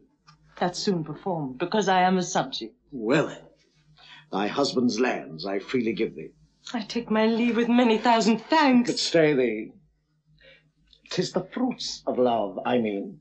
The fruits of love I mean, my loving liege. Aye, but if him in another sense. What love thinkst thou I sue so much to get? My love till death, my humble thanks, my prayers, that love which virtue begs and virtue grants. No, by my troth, I did not mean such love. Why, then you mean not as I thought you did. To tell thee plain, I aim to lie with thee. To tell you plain, I had rather lie in prison. Well then, thou shalt not have thy husband's land.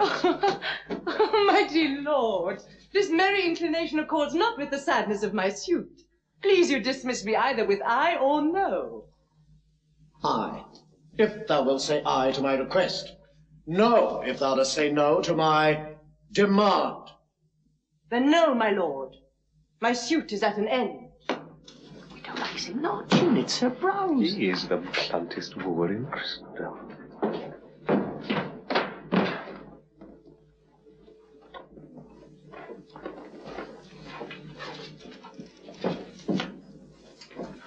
Say that King Edward take me for his queen. Tis better said than done, my gracious lord.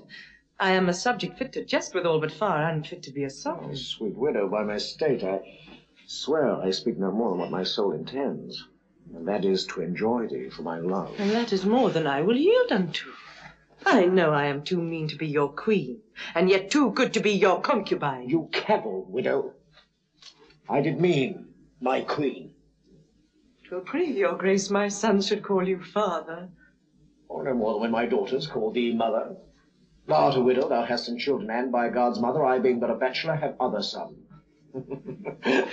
Why, it is a happy thing to be the father of the many sons thou answer no more, for thou shalt be my queen. Ghostly father now has done his shift.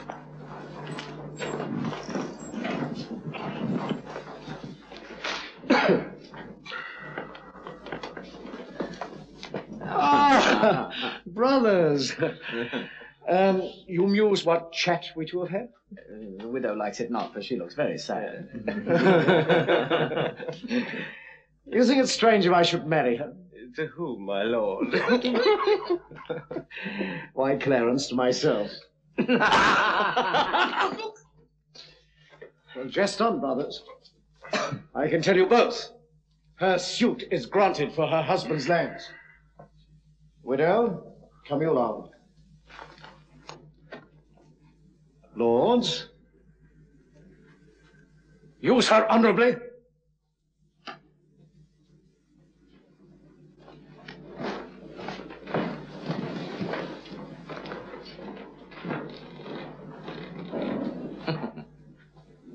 I, Edward, will use women honorably. Would he were wasted, marrow, bones, and all, that from his loins no hopeful branch may spring to cross me from the golden time I look for. And yet between my soul's desire and me, The lustful Edward's title buried. His Clarence, Henry, and his son, young Edward, and all the unlooked for issue of their bodies to take their rooms ere I can place myself. A cold premeditation for my purpose. Why, then I do but dream on sovereignty.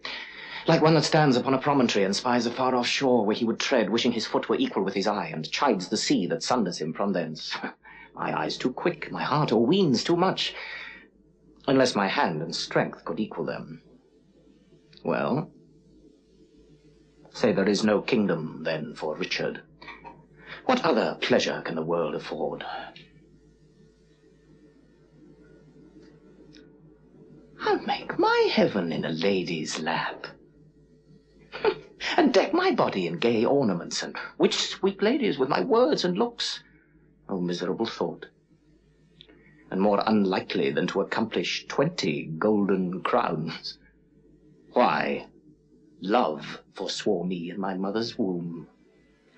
And for I should not deal in her soft laws, she did corrupt frail nature with some bribe to shrink mine arm up like a withered shrub, to make an envious mountain on my back where sits deformity, to mock my body, to shape my legs of an unequal size, to disproportion me in every part, like to a chaos or an unlicked bear whelp that carries no impression, like the dam. And am I then a man to be beloved?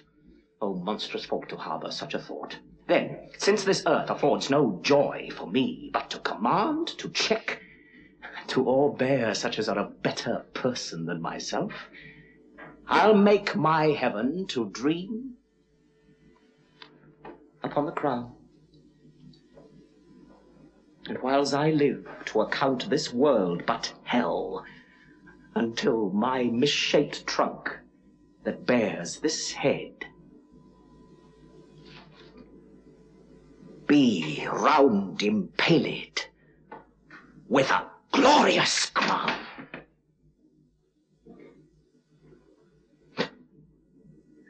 And yet I know not how to get the crown.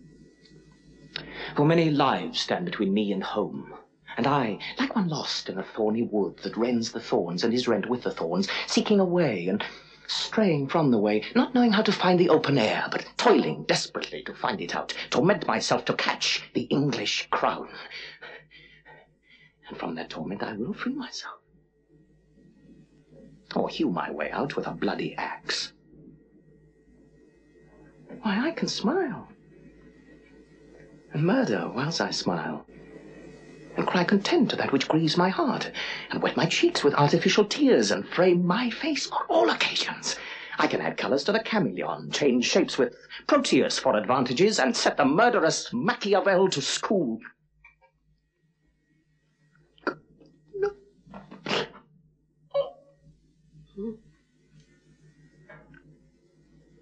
Can I do this and cannot get a crown? Tut! Were it further off, I'll pluck it down. Under this thick grown brake we'll shroud ourselves, for through that land anon the deer will come. I'll stay above the hill so both may shoot. Och, that cannot be. The noise of thy crossbow will scare the herd, so my shoot is lost.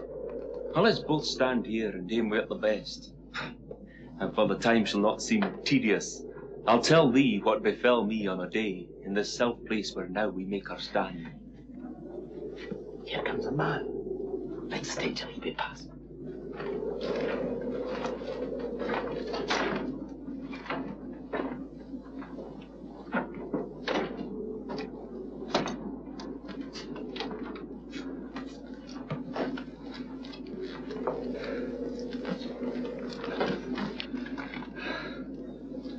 From Scotland am I stolen. Even of pure love. To greet my own land with my wishful sight.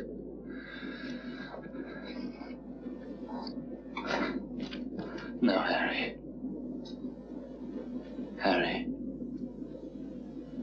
It is no land of thine. Thy place is filled. thy sceptre wrung from thee, thy balm washed off wherewith thou wast anointed. No bending knee will call thee Caesar now.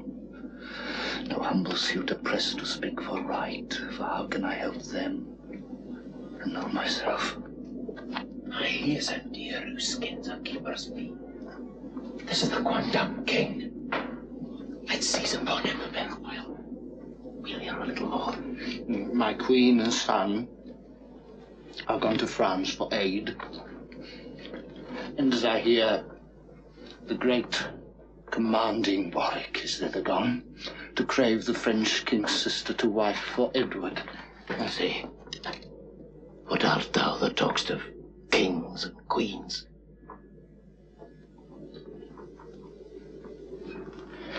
More than I seem, and less than I was born to, for men may talk of kings, and why not I? Aye. But thou talkst as if thou wert a king. Why, so I am. In mind, that's enough. Well, if thou art a king, where is thy crown?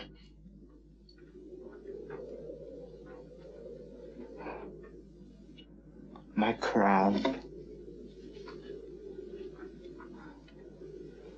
is in my heart, not on my head. Not decked with diamonds and Indian stones, nor to be seen. My crown is called content. A crown it is that seldom kings enjoy. Well, if you be a king crowned with content, thy crown content and you must be contented to go along with us. For as we think you are the king King Edward hath deposed, and we his subjects sworn in all allegiance will apprehend you as his enemy. Mm. But did you never swear and break an oath? No, never such an oath, nor will not now. Where did you dwell when I was king of England? Here, in this country where we now remain. I was anointed king at nine months old. My father and my grandfather were kings, and you were sworn true subjects unto me.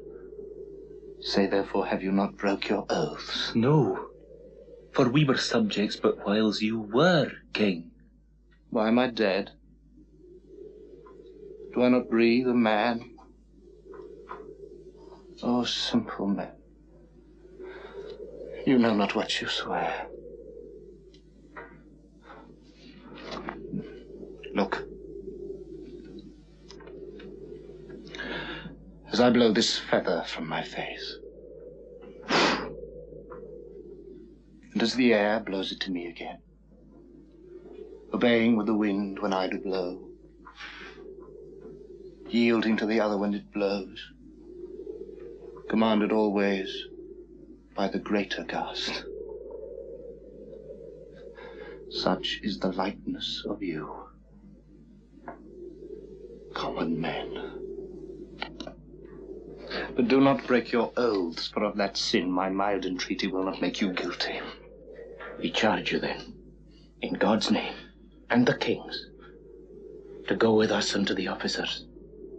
What God wills, I humbly yield unto.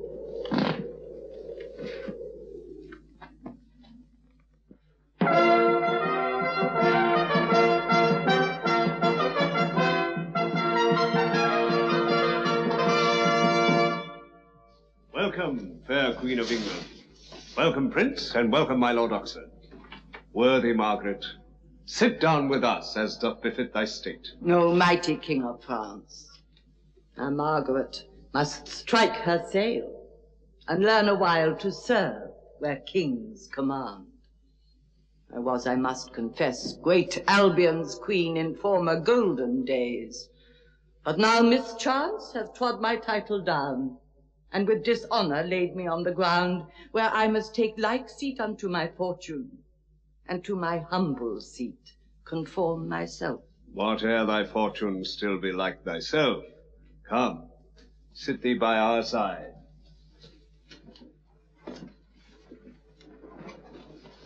Now, tell thy grief. We'll ease thee if we can. Then know, my liege, My Henry is deposed and exiled. As proud, ambitious Edward, Duke of York, usurps the title and the regal throne. This is the cause that I, poor Margaret, am come to crave thy just and lawful aid, and if thou fail us, all our hope is done. Renowned Queen, with patience calm the storm, while we do seek a means to break it off. But see where comes the breeder of our sorrows. Ah, now begins a second storm to rise. For this is he that moves both wind and tide. Welcome, brave Warwick.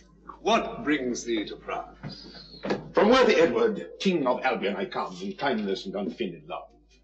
Uh, First to do greetings to thy royal person, and then to crave a league of amity, and lastly to confirm that amity with nuptial knot, if thou vouchsafe to grant him the virtuous Lady Bona, thy fair sister. If that go forward, Henry's hope is done. And gracious madam, in our king's behalf, I am commanded with your leave and favour, humbly to kiss your hand, and with my tongue to tell the passion of my sovereign's heart, where fame, late entering at his heedful years, hath placed thy beauty's image and thy virtue. King Louis and Lady Bona hear me speak. This suit springs not from Edward's honest love, but from deceit bred by necessity. For how can tyrants safely govern home unless a war they purchase great alliance? Injurious Margaret. And why not queen? Because thy father Henry did usurp, and thou no more art prince than she is queen. Queen Margaret, Prince Edward, and Oxford, vouchsafe at our request to stand aside while I use further conference with Warwick. Heaven grant that Warwick's words bewitch him not. Now, Warwick, tell me, even upon thy conscience, is Edward your true king? Mm, I swear he is. But is he gracious in the people's eye? The more that Henry was unfortunate. Then further, all dissembling set aside, tell me the measure of his love for Bona. Such as beseems a monarch like himself. Say, sister, what is your resolve in this? I must confess that often ere this day, when I have heard your king's desert recounted, mine ear hath tempted judgment to desire. Then, Warwick, thus. Our sister shall be Edward's. Draw near, Queen Margaret, and be a witness that Bona shall be wife to the English king. Deceitful Warwick. It was thy device by this alliance to make void my suit. Before thy cunning Louis was Henry's friend. And still is friend to him and Margaret. But if your title to the crown be weak, then 'tis but reason that I be released from giving aid, which late I promised. Yet shall you have all kindness at our hand that your estate requires, and mine can yield. Henry hath hid his exiled head in Scotland, where having nothing, nothing can he lose. And as for yourself, our quondam queen, you have a father able to maintain you, and better twere you troubled him than France. Proud, set her up and pull her down of kings. I will not hence, till with my talk and tears, both full of truth, I make King Louis behold thy sly conveyance, and thy lord's false love. Warwick, there is some post to us or thee. My Lord Ambassador, these letters are for you sent from your brother, Marquis Montague. These from our king and to your majesty. Madam, these for you, from whom I know not.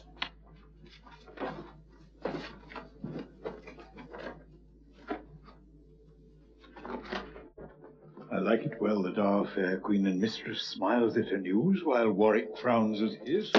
Nay, mark how Louis doth stamp as he were nettled. Elbows for the best.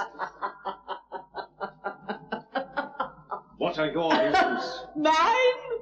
Such as fill my heart with unhoped for joys. Mine full of sorrow and heart's miscontent. What? Has your king married the Lady Grey? And now, to soothe your forgery and his, sends me a paper to persuade me patience? Dare he presume to scorn us in this manner? I told your majesty as much before this proved Edward's love and Warwick's honesty. King Louis, uh, I here protest in sight of heaven and by the hope I have of heavenly bliss, that I am free from this misdeed of Edward's. no more my king, for he dishonors me. And to repair my honor lost for him, I here renounce him and return to Henry. My noble queen, let former grudges pass, for henceforth I am thy true servitor.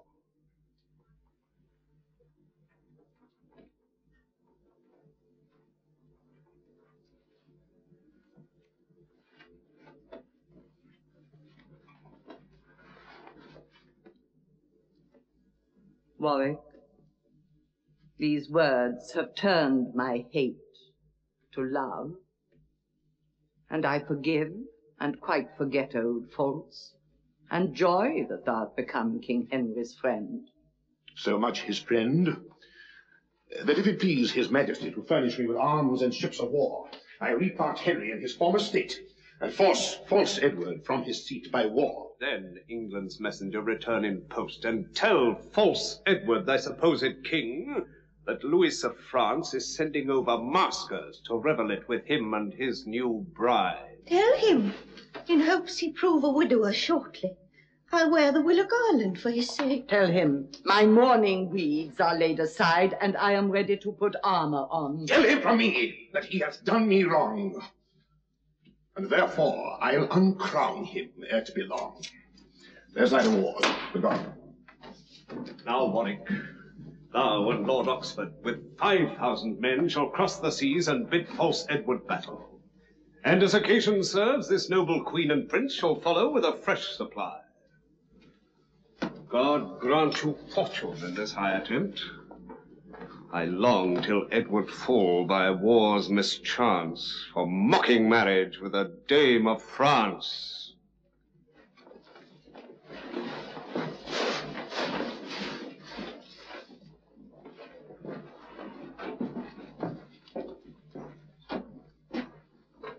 Had he none else to make a tale but me,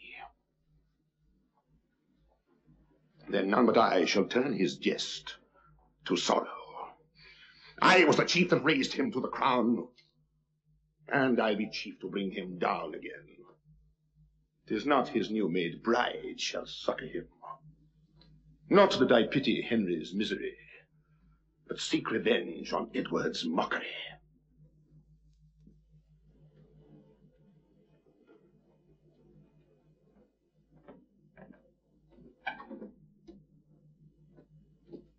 Morrow, Brother Clarence. What think you of this new marriage with the Lady Grey? Has not our brother made a worthy choice? Oh, You'll know it is not far from hence to France. Could he not wait till Warwick made return? Since he was king, I like not his proceedings.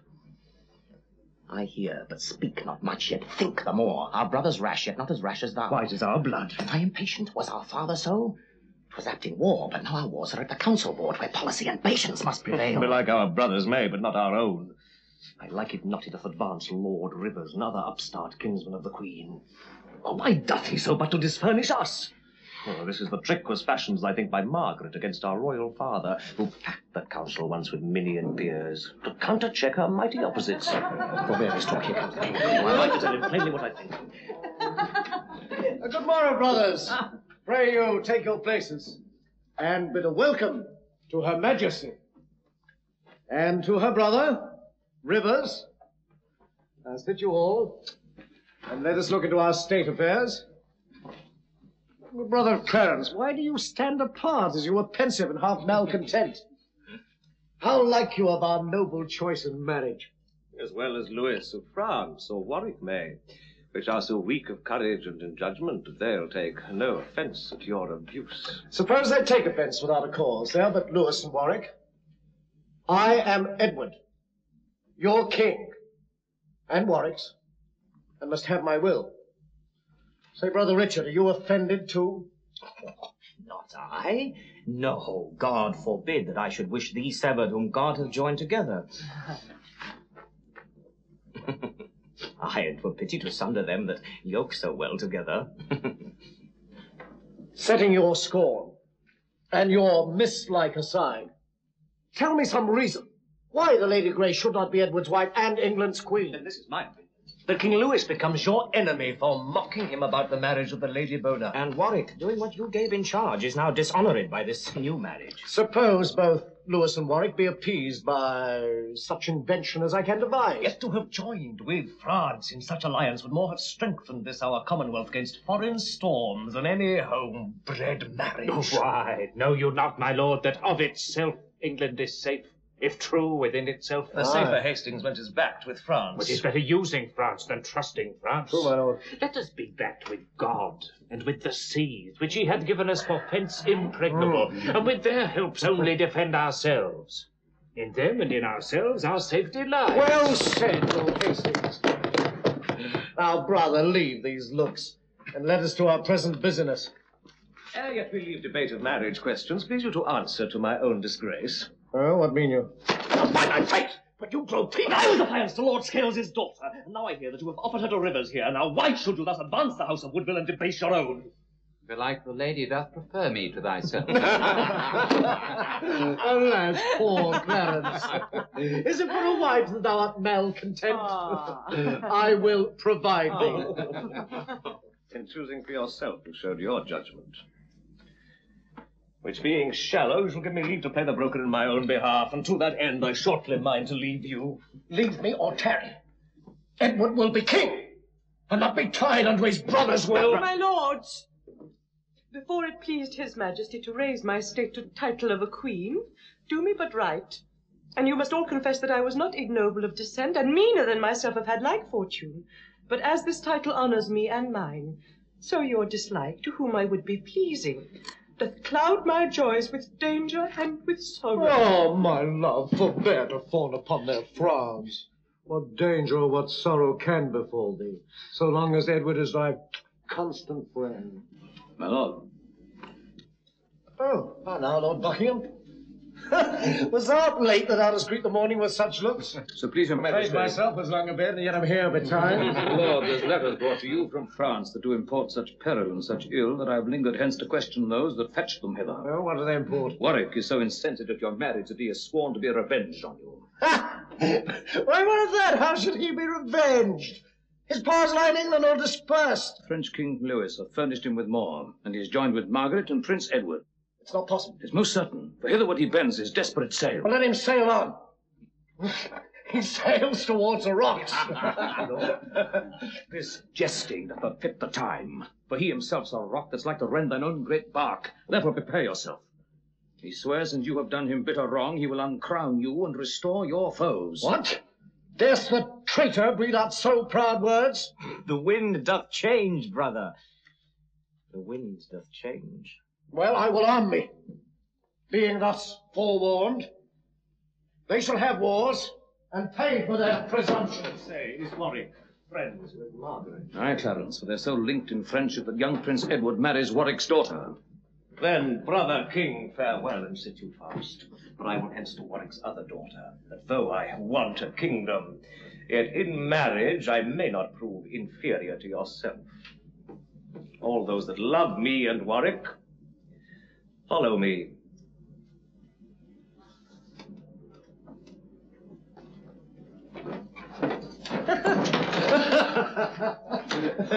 Will surly Clarence join the traitor Warwick? Sir, haste is needful in this desperate case. Norfolk and Rivers, you on our behalf go levy men and make prepare for war. Myself will straight follow you. But before you go, good Buckingham and Hastings, resolve my doubt. You, of all the rest, are nearest to Warwick by blood and by alliance. Then tell me if you love him more than me. Hmm? For if you do, then get thee hence with Clarence. But if you mind to hold your true obedience, give me assurance with some friendly vow that I may never have you in suspect. So God help Hastings, as he proveth true. Thou mayest trust Buckingham, my sovereign liege, as much as he doth trust his dearest friend. Whenever I prove false to you or yours, then doom me to the death. Amen, amen.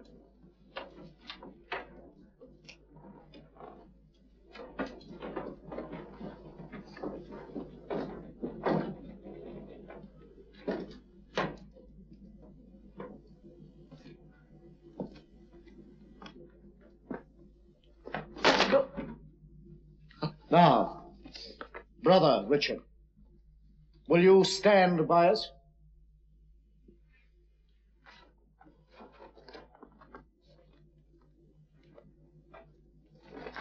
Aye.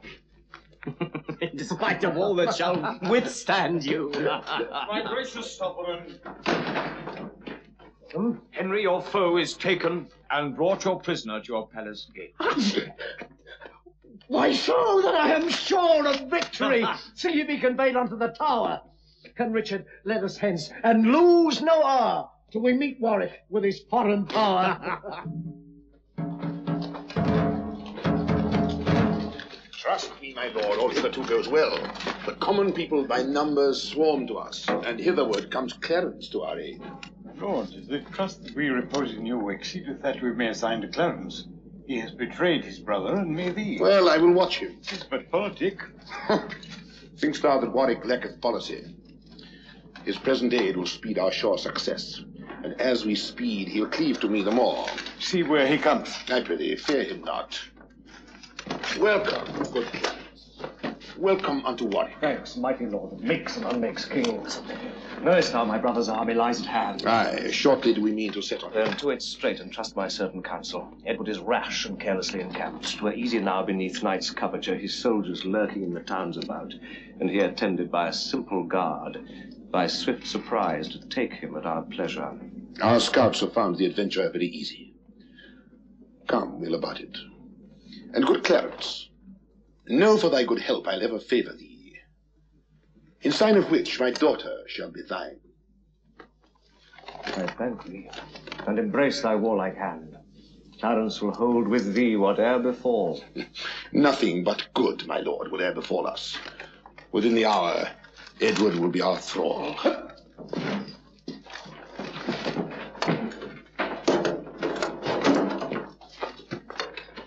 Let us in silence now round his camp. And when he has reposed himself to sleep, and his few sentinels nod by their fires, then suddenly we will descend on him. You that will follow me in this attempt, applaud the name of Henry with your leader.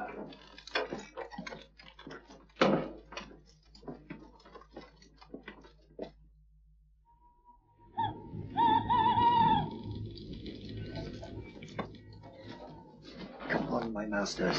Each man take his stand.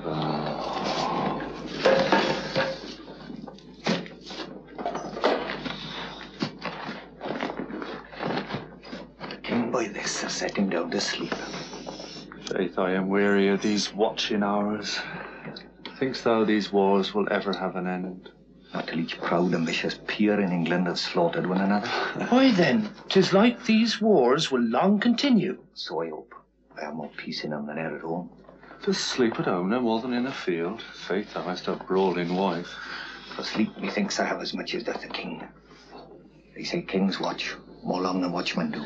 But say, I pray, what nobleman is that that with the king he arrested in his tent? Tis the Lord Hastings, the king's chiefest friend. Oh, is it so? But why commands the king that his chief followers lodge in town about him, whilst he himself keeps in a cold field? Tis the more honour, because more dangerous. Oh, give me slumber, man, and quietness. I like it better than a dangerous honour. A quiet thee, Nodder. Faith, my head doth nod. And so does mine. And mine. Then hang the honour. Good night, good fellows.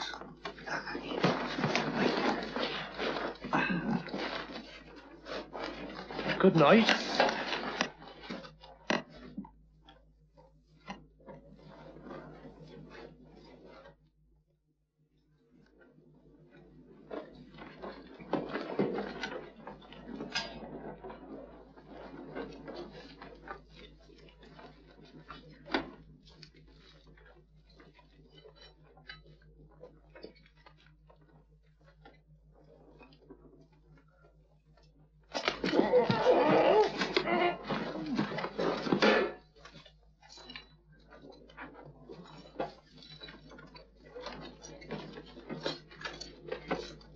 This is his tent. Now, Edward shall be ours. What did they fly there? Richard and Hastings, let them go. Here is the Duke. The Duke? When we parted, our course me king. Aye, but the case is altered.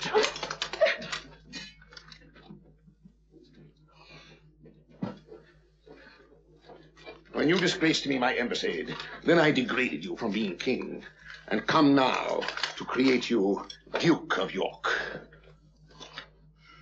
Alas, how should you govern any kingdom that know not how to use ambassadors, nor how to shroud yourself from enemies, nor how to be contented with one wife, nor how to use your brothers brotherly?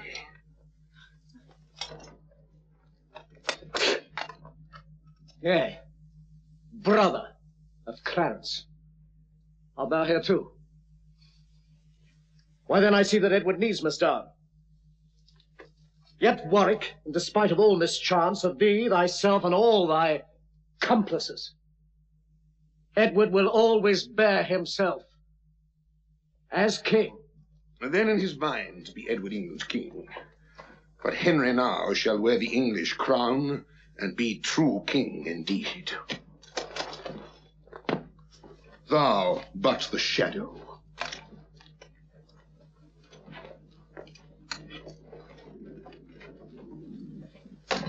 What fate imposes, men must needs abide. It brooks not to resist both wind and tide.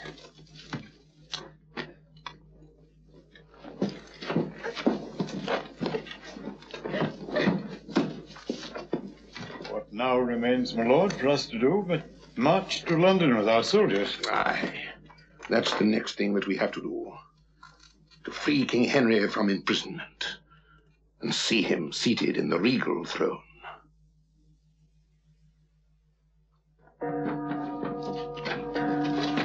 Who's there? Lord Rivers. What makes you in this sudden change? Brother Rivers, are you yet to learn what late misfortune has befallen King Edward? What, Loss of some pitched battle against Warwick. No, but the loss of his own royal person. My sovereign slain. I am almost slain, but he's taken prisoner. Yes, I must confess, is full of grief. It either rather wean me from despair, for love of Edward's offspring in my womb, bearing with mildness my misfortune's cross, lest with my sighs or tears I blast or drown King Edward's fruit, true heir to England's crown. Where is Warwick then become? I'm informed that he has come to London to set the crown once more on Henry's head. Therefore, ride hence unto the sanctuary. Come, Rivers, let us fly while we may fly. If Warwick takes us, we are sure to die.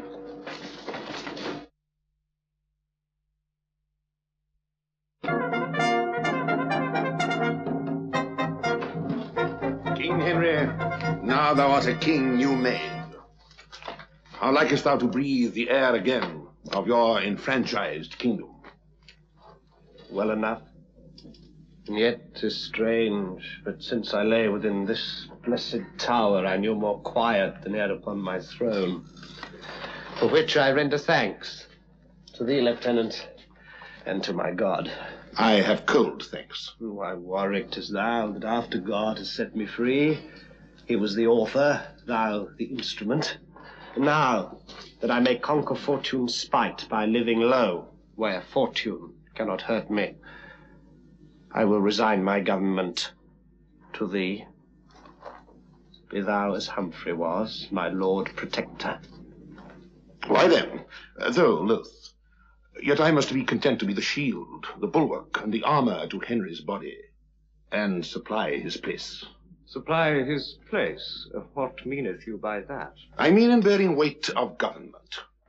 And to that end, now is it more than needful, forthwith that Edward be pronounced a traitor, and all his lands and goods be confiscated. What needeth that? Must he be so debased? My lord, I mean not so to debase your brother, so much as to secure King Henry's throne. Well, that's done if the succession be determined. Aye.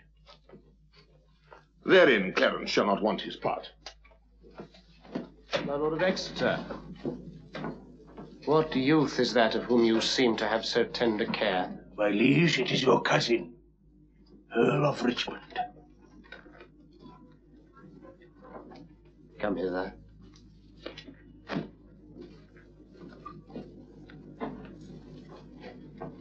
England's hope. If secret powers suggest but truth to my divining thoughts, this pretty lad may prove our country's bliss. His looks are full of peaceful majesty, his head by nature framed to wear a crown, his hand to wield a sceptre, and himself likely in time to bless a regal throne. Make much of him, my lords, for this is he must help you more than you are hurt by me. What news? That Edward has escaped and fled to gather powers in Burgundy. Unsavory news. But how may he escape? He was conveyed there by Richard Duke of Gloucester and the Lord Hastings who attended him. Now doth he gather head and means to march with swift dispatch for your grace in London, and many giddy people flock to him. Let's levy men and beat him back again. In Warwickshire I have true-hearted friends, those will I muster up. And thou, son Clarence, shalt stir up gentlemen to come with thee. In Oxfordshire I muster up my friends. Then Henry, with the loving citizens, shall rest in London till we come to him. Farewell, sweet lord. Let's meet at Coventry.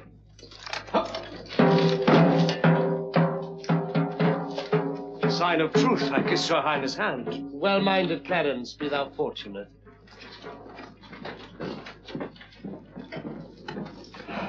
Uh, good Exeter and Oxford, counsel me. Where think you now I should dispose myself for safety in this latest exigent? No matter where, so you remain in London. Why then I'll back and keep me in the tower. The tower? Why, it is a sanctuary where I will pray and meditate in quiet for Warwick's good success. And for your own. Farewell, kind friends. When these new wars are done, then will I once again into the sun.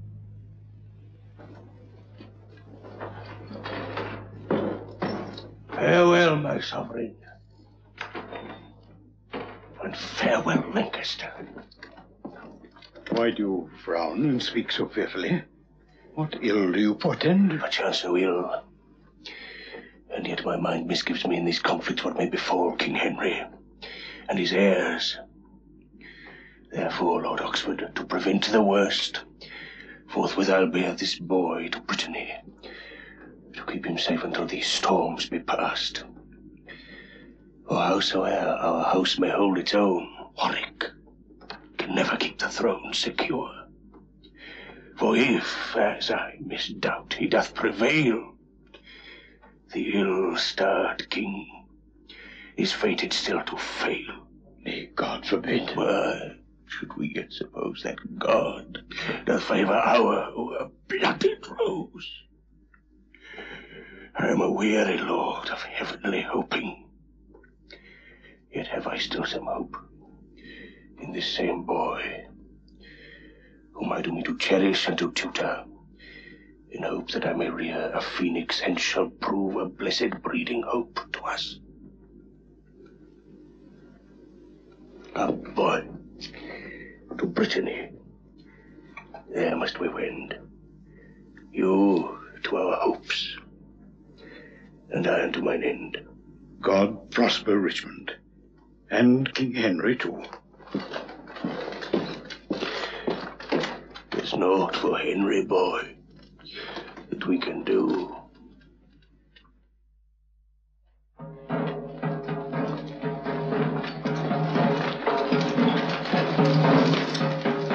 Well have we passed, and now repass the seas that brought desired help from Burgundy. Hey, thus far, fortune maketh us amends, and says that once more I shall interchange my waned state for Henry's regal crown. And yet methinks we need more help than this, ere traitorous Warwick may be overthrown. Doubt not, but many friends will join with us. The mighty Duke of Buckingham makes head. Think you he will fight upon our part? He come and challenge his allegiance. Welcome, great Duke. Why come you now in arms? To help King Edward in his time of storm. Thanks, Buckingham. But now we do forget our title to the crown and only claim our dukedom. Till God please to send the rest. Then join with us and we'll debate a while by what safe means the crown may be recovered. What talk you of debating? In few words, if you will not proclaim yourself our king, I will be gone. Nay, Buckingham, Why should we fight if you pretend no title? When we grow stronger, then we'll make our claim. Till then, 'tis wisdom to conceal our meaning. We, with scrupulous wit, now arms must rule. Aye. Fearless minds climb soonest unto crowns. Be it as you will. For 'tis my right, and Henry but usurps the diadem. Oh, now my sovereign speaketh like himself. And now I will be Edward's champion. What say you all? Shall we proclaim him king? Aye! Sound trumpets! Edward shall be here proclaimed.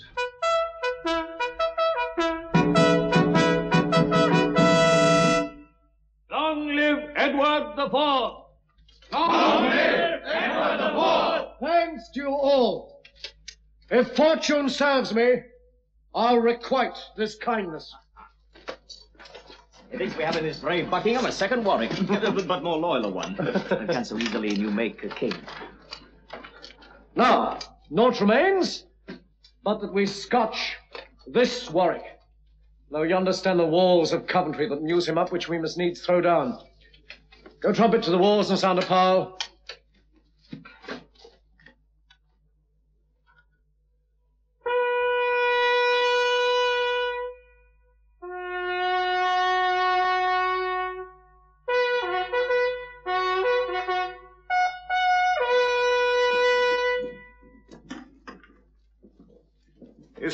Is Edward come? What wouldst thou, boy?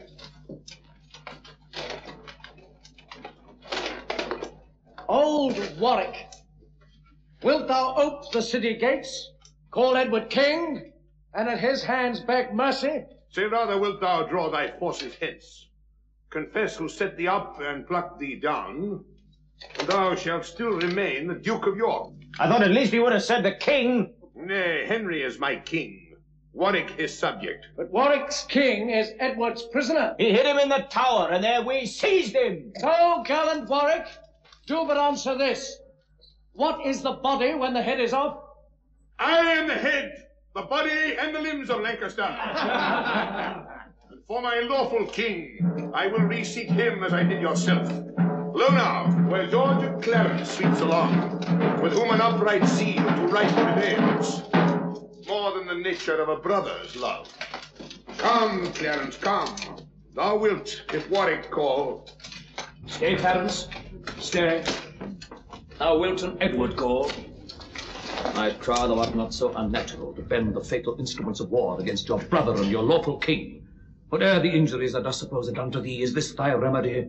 To join a desperate and weakly traitor, whose present powers are insufficient to save him from deserved overthrow. Why, think you I am come but to confound him? Ill-fated Warwick, know you what this means? Look here, I throw my infamy at thee. Ah, Passing traitor, perjured and unjust. I will not ruinate my father's house. And I'm so sorry for my trespass made, that to deserve well at my brother's hands, I here proclaim myself thy mortal foe, and to my own you turn my blushing cheeks. Pardon me, Edward. I will make amends. And Richard, do not frown upon my faults, for I will henceforth be no more unconstant.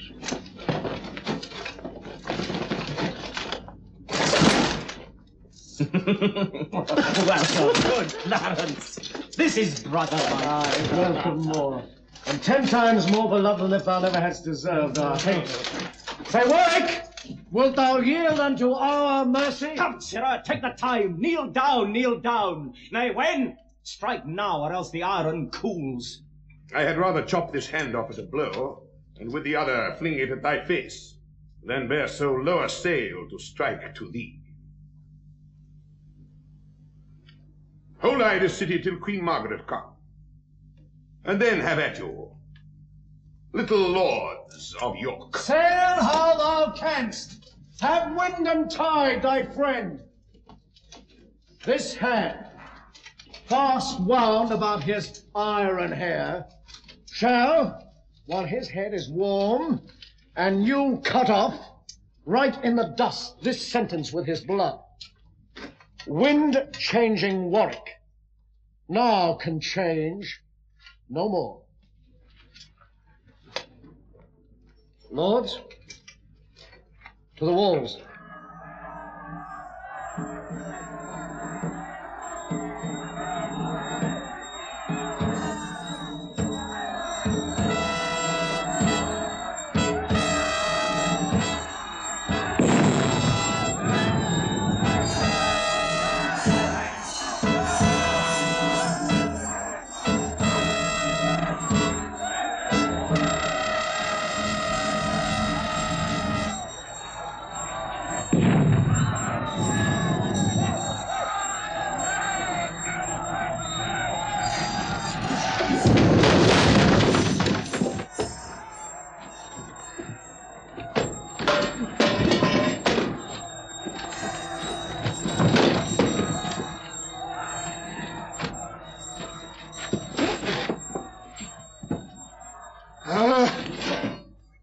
Me, friend or foe, and tell me who is victor.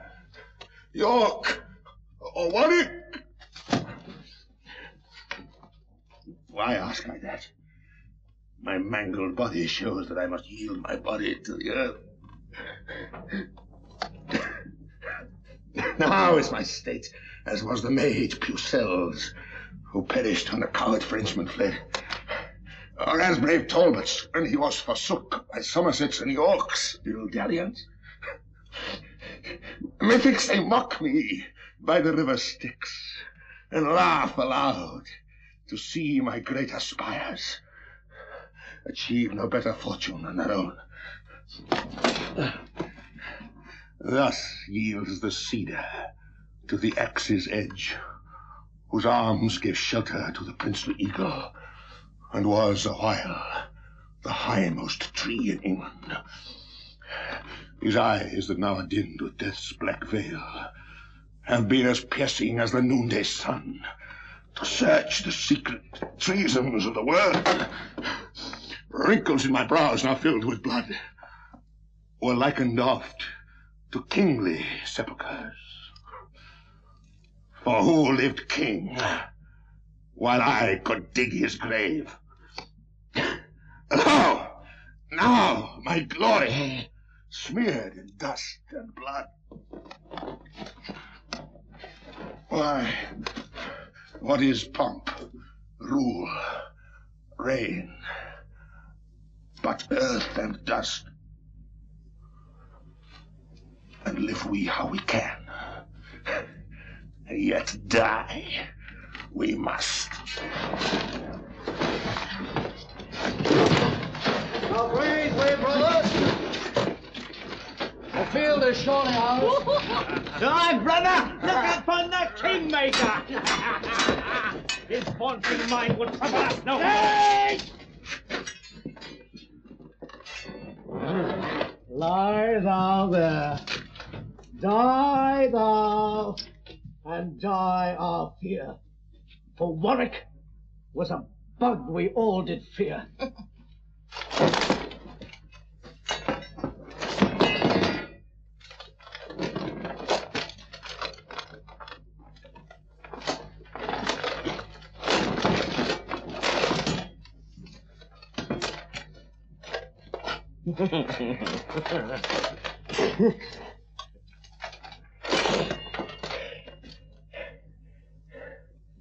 Wind changing Warwick now can change no more.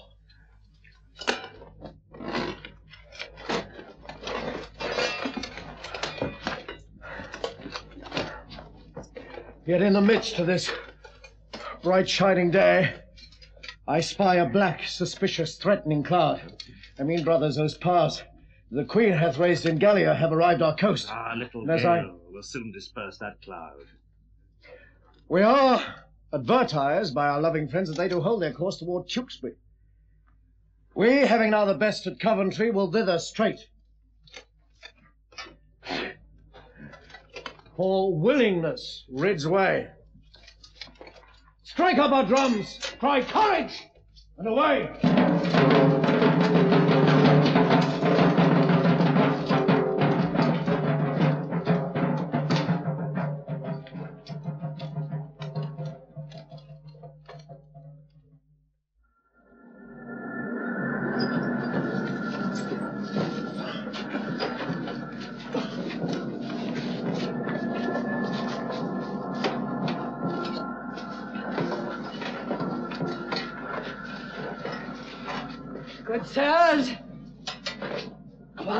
There sit and wail their loss, but surely seek how to redress their harms. Say, Warwick was your anchor? What of that? And Clifford was your topmast? What of him? Have we not Oxford here, another anchor? And Ned, brave Ned, another goodly mast? We will not from the helm to sit and weep, but keep our course, though the rough wind says no, from shelves on rocks that threaten us with wreck. For what is Edward but a ruthless sea? What Clarence but a quicksand of deceit? And Richard but a ragged fatal rock? Say you can swim? Alas, 'tis but an hour. Tread on the sand. Why dare you quickly sink, bestride the rock? The tide will wash you off. Speak I, sirs, to let you understand in case some one of you would fly from us. And there's no hope for mercy with the brothers. Methinks a woman of this valiant spirit should, if a coward heard her speak these words, infuse his breast with magnanimity. Aye, he who will not fight for England's hope, go home to bed. And like the owl by day, if he arise, be mocked and wondered at. There you, Lord, for Edward is the time. Oh, this, this is policy to haste thus fast and find us unprovided. But he's deceived. We are in readiness. It chills my heart to see your forwardness. Lords, knights, and gentlemen, what I would say, my tears gainsay. For every word I speak, you see I drink the water of my eyes. Therefore no more but this, Henry, your king, is prisoner to the foe, his state usurped, his realm a slaughterhouse, his subjects slain, and yonder is the wolf that makes the soil. Now, brave followers, yonder stands the thorny wood, which, by heaven's assistance and your strength, must by the roots be hewn up yet ere night. I think the lad will fuel for your fire, for while I watch ye blaze to burn them out. Give signal to the fight! Here is a hand for you. And here for Lancaster!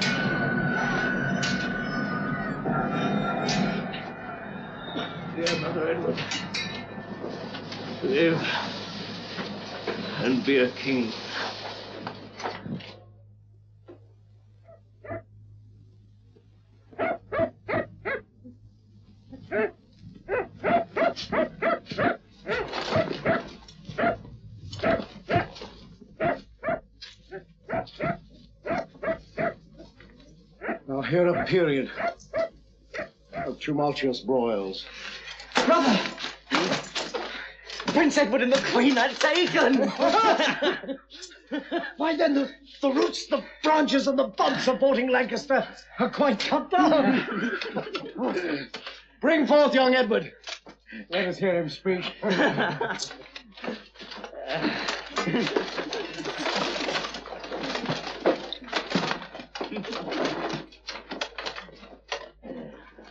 What satisfaction canst thou make to us for bearing arms and stirring up my subjects? Speak like something proud, ambitious York. Suppose that I am now my father's mouth.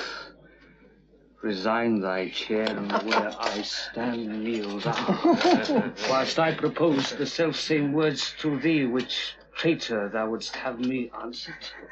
Oh, had thy father but been so resolved. For God's sake, take away this captive skull. Nay, take away this scolding crook back, rather. What? And so young a thorn begin to prick. Now, peace, willful boy, or I will charm my tongue. Lascivious Edward. and thou perjured George. And thou misshapen Dick. Oh. I tell ye all I am your better. Ah. Traitors as ye are. And thou tramped my father's right in mind. What? Has my mother taught thee thus to rail? Ah! Strumpet! I cursed it, Richard! And that's for twitting me with perjury! He is but... Take this to end thy agony. Then kill me. too. Bury and self at home! For we have done too much. Why should she live to fill the world with words? What, does she swoon? Use means for her recovery. Oh, Clarence, excuse me to the king, my brother. What? I'll hence to London on a serious matter. What?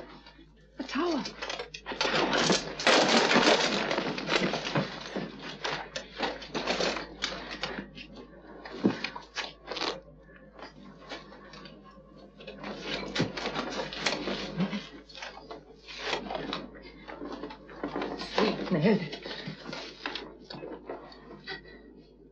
Speak to thy mother, boy. Canst thou not speak?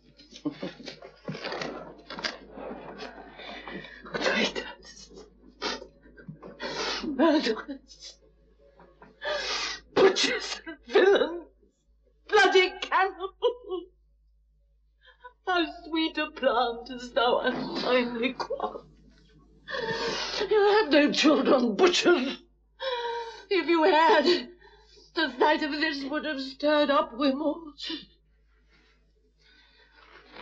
But if you have a chance to have a child, look in his youth to have him so cold. Away with her. Go bear her hence perforce.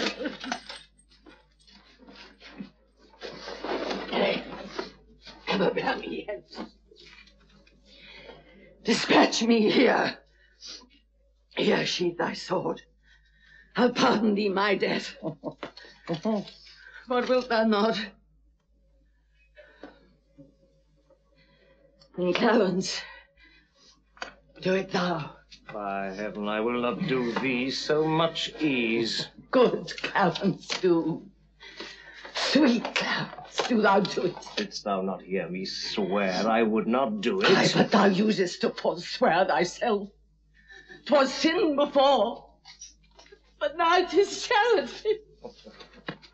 What wilt thou not? Where is that devil's butcher, our favoured Richard? Richard! Where art thou? Doth no man here dare give me my dispatch? Oh, away, I say. I charge you, bear her hence. So come to you and yours as to this prince.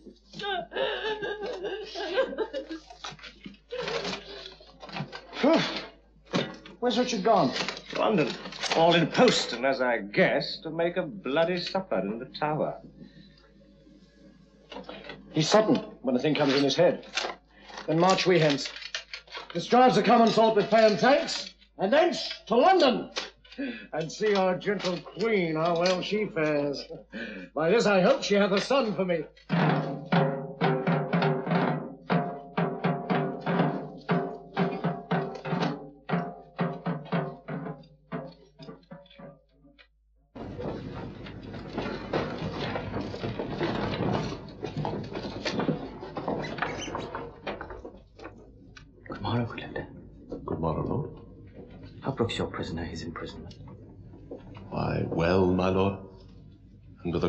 Will such as I never saw in any charge I have all watched since I have kept this place. Thinkst thou he were not happier in heaven?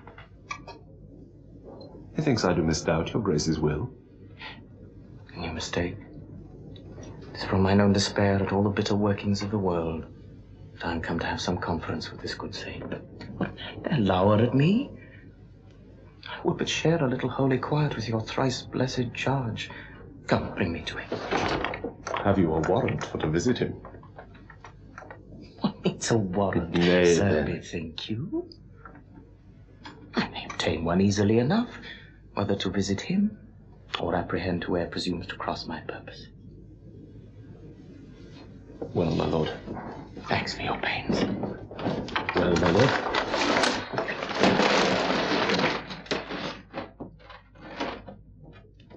I think, but dare not speak. Let others strive. My comfort is that I am still alive.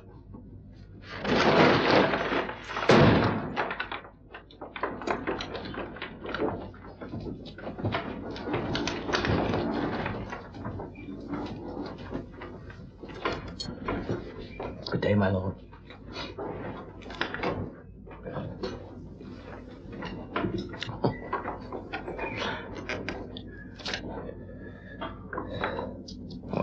What, did your book so hard? Aye, my good lord. My lord, I should say rather. What scene of death has Roscius now to act? Ah, suspicion always haunts the guilty mind. The thief doth fear each bush an officer. The bird that hath been limed in a bush with trembling wings missed out of every bush.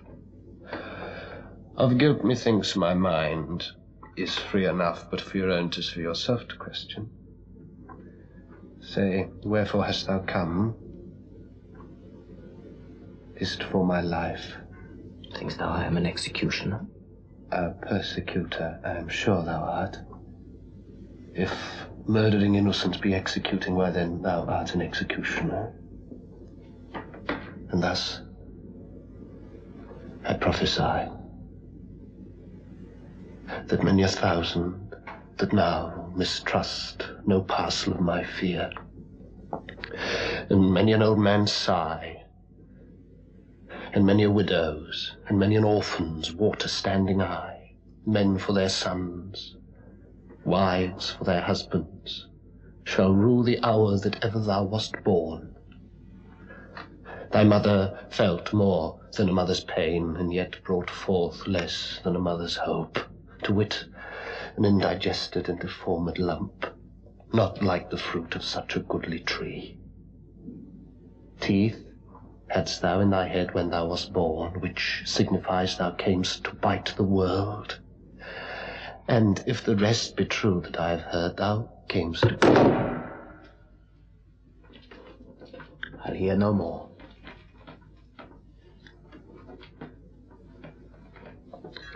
Die, prophet, in thy speech.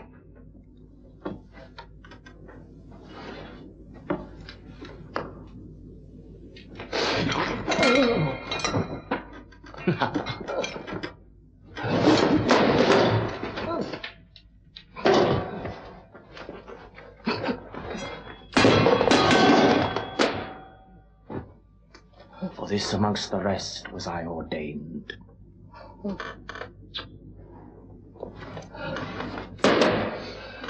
Aye. And for much more slaughter after this. O oh God, forgive my sins and pardon thee.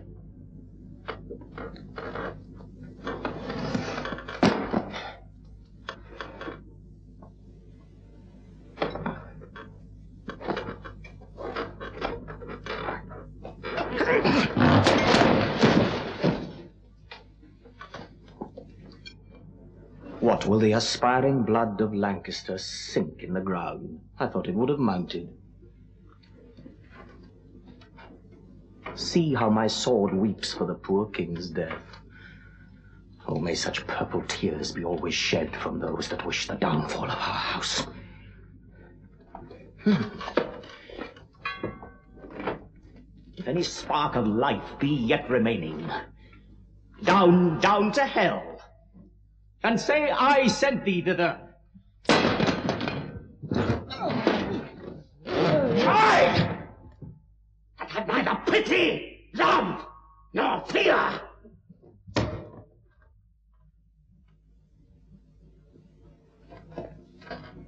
Indeed, 'tis true that Henry told me of, for I've often heard my mother say I came into the world with my legs forward. Had I not reason, think ye, to make haste and seek their ruin that usurped our right? The midwife wondered and the women cried, Oh, Jesus bless us, he is born with teeth. And so I was, which plainly signified that I should snarl and bite and play the dog. Though yet I am not looked on in the world. The shoulder was ordained so thick to heave, and heave it shall some weight, or break my back. Then, since the heavens have shaped my body so, let hell make crooked my mind to answer it. I had no father. I am like no father. I have no brother. I am like no brother. And this word love, which greybeards call divine, be resident in men like one another. Not in me. I am myself alone.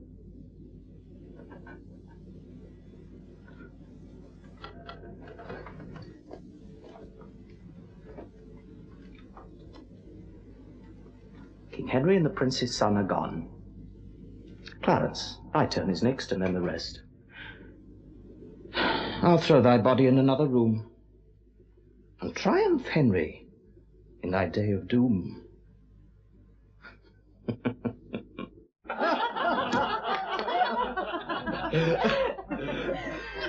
Once more, we sit in England's royal throne, repurchased with the blood of enemies. What valiant foemen, like to autumn's corn, have we mowed down in tops of all their pride? Come here, the best. Let me kiss my boy. Uh, uh, young Ned. Ah, ah, ah. For thee, thine uncles, and myself have in our armors watched the winter's night, went all afoot in summer's scalding heat, that thou mightst repossess the crown mm, in peace. And of our labors thou shalt reap the gain. I'll blast his harvest when his head is laid. Work thou the way, and I shall execute. Clarence and Gloucester, love my lovely queen, and kiss your princely nephew, brothers both.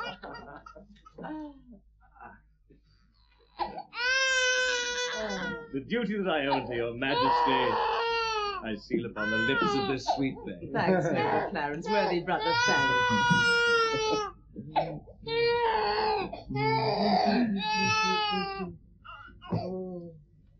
Doesn't love the tree from whence thou sprangst. Witness the loving kiss I give the fruit. Now my seated as my soul delights, having my country's peace and brothers' loves. This deep delight doth crave our loving thanks to all who helped us to our happy throne. Lord Rivers, thanks for thy good strokes at Tewkesbury. Lord Norfolk, thanks for thy good cheer at Coventry. Lord Hastings, our especial thanks to you for freeing us when we were Warwick's thrall.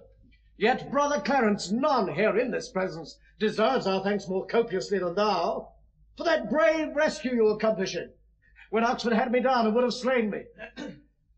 and for the last, our thanks to thee, dear Gloucester, our partner and our second in these wars. And now, our chiefest minister in peace. My love and duty to my lawful king. Oh, my Lord of Buckingham, we thank you well for urging us to reassert our title, and mean to high advance you for your love. My love and duty to your majesty. Our love and duty to your majesty. We thank you all. What further business must be dispatched today? Now, when it is done, let us enjoy our unaccustomed ease and bid our armor rust while we do revel in celebration of this hard-won peace. No business of note, saving one trifle. Uh-huh. What will your grace have done with Margaret? Away with her. Waft her hence to France. I'm a weary of affairs of state. And now what rests but that we spend the time with stately triumphs, mirthful comic shows, such as befits the pleasures of the court. Sound drums and trumpets. Farewell, Tsar Annoy. For here, I hope, begins our lasting joy.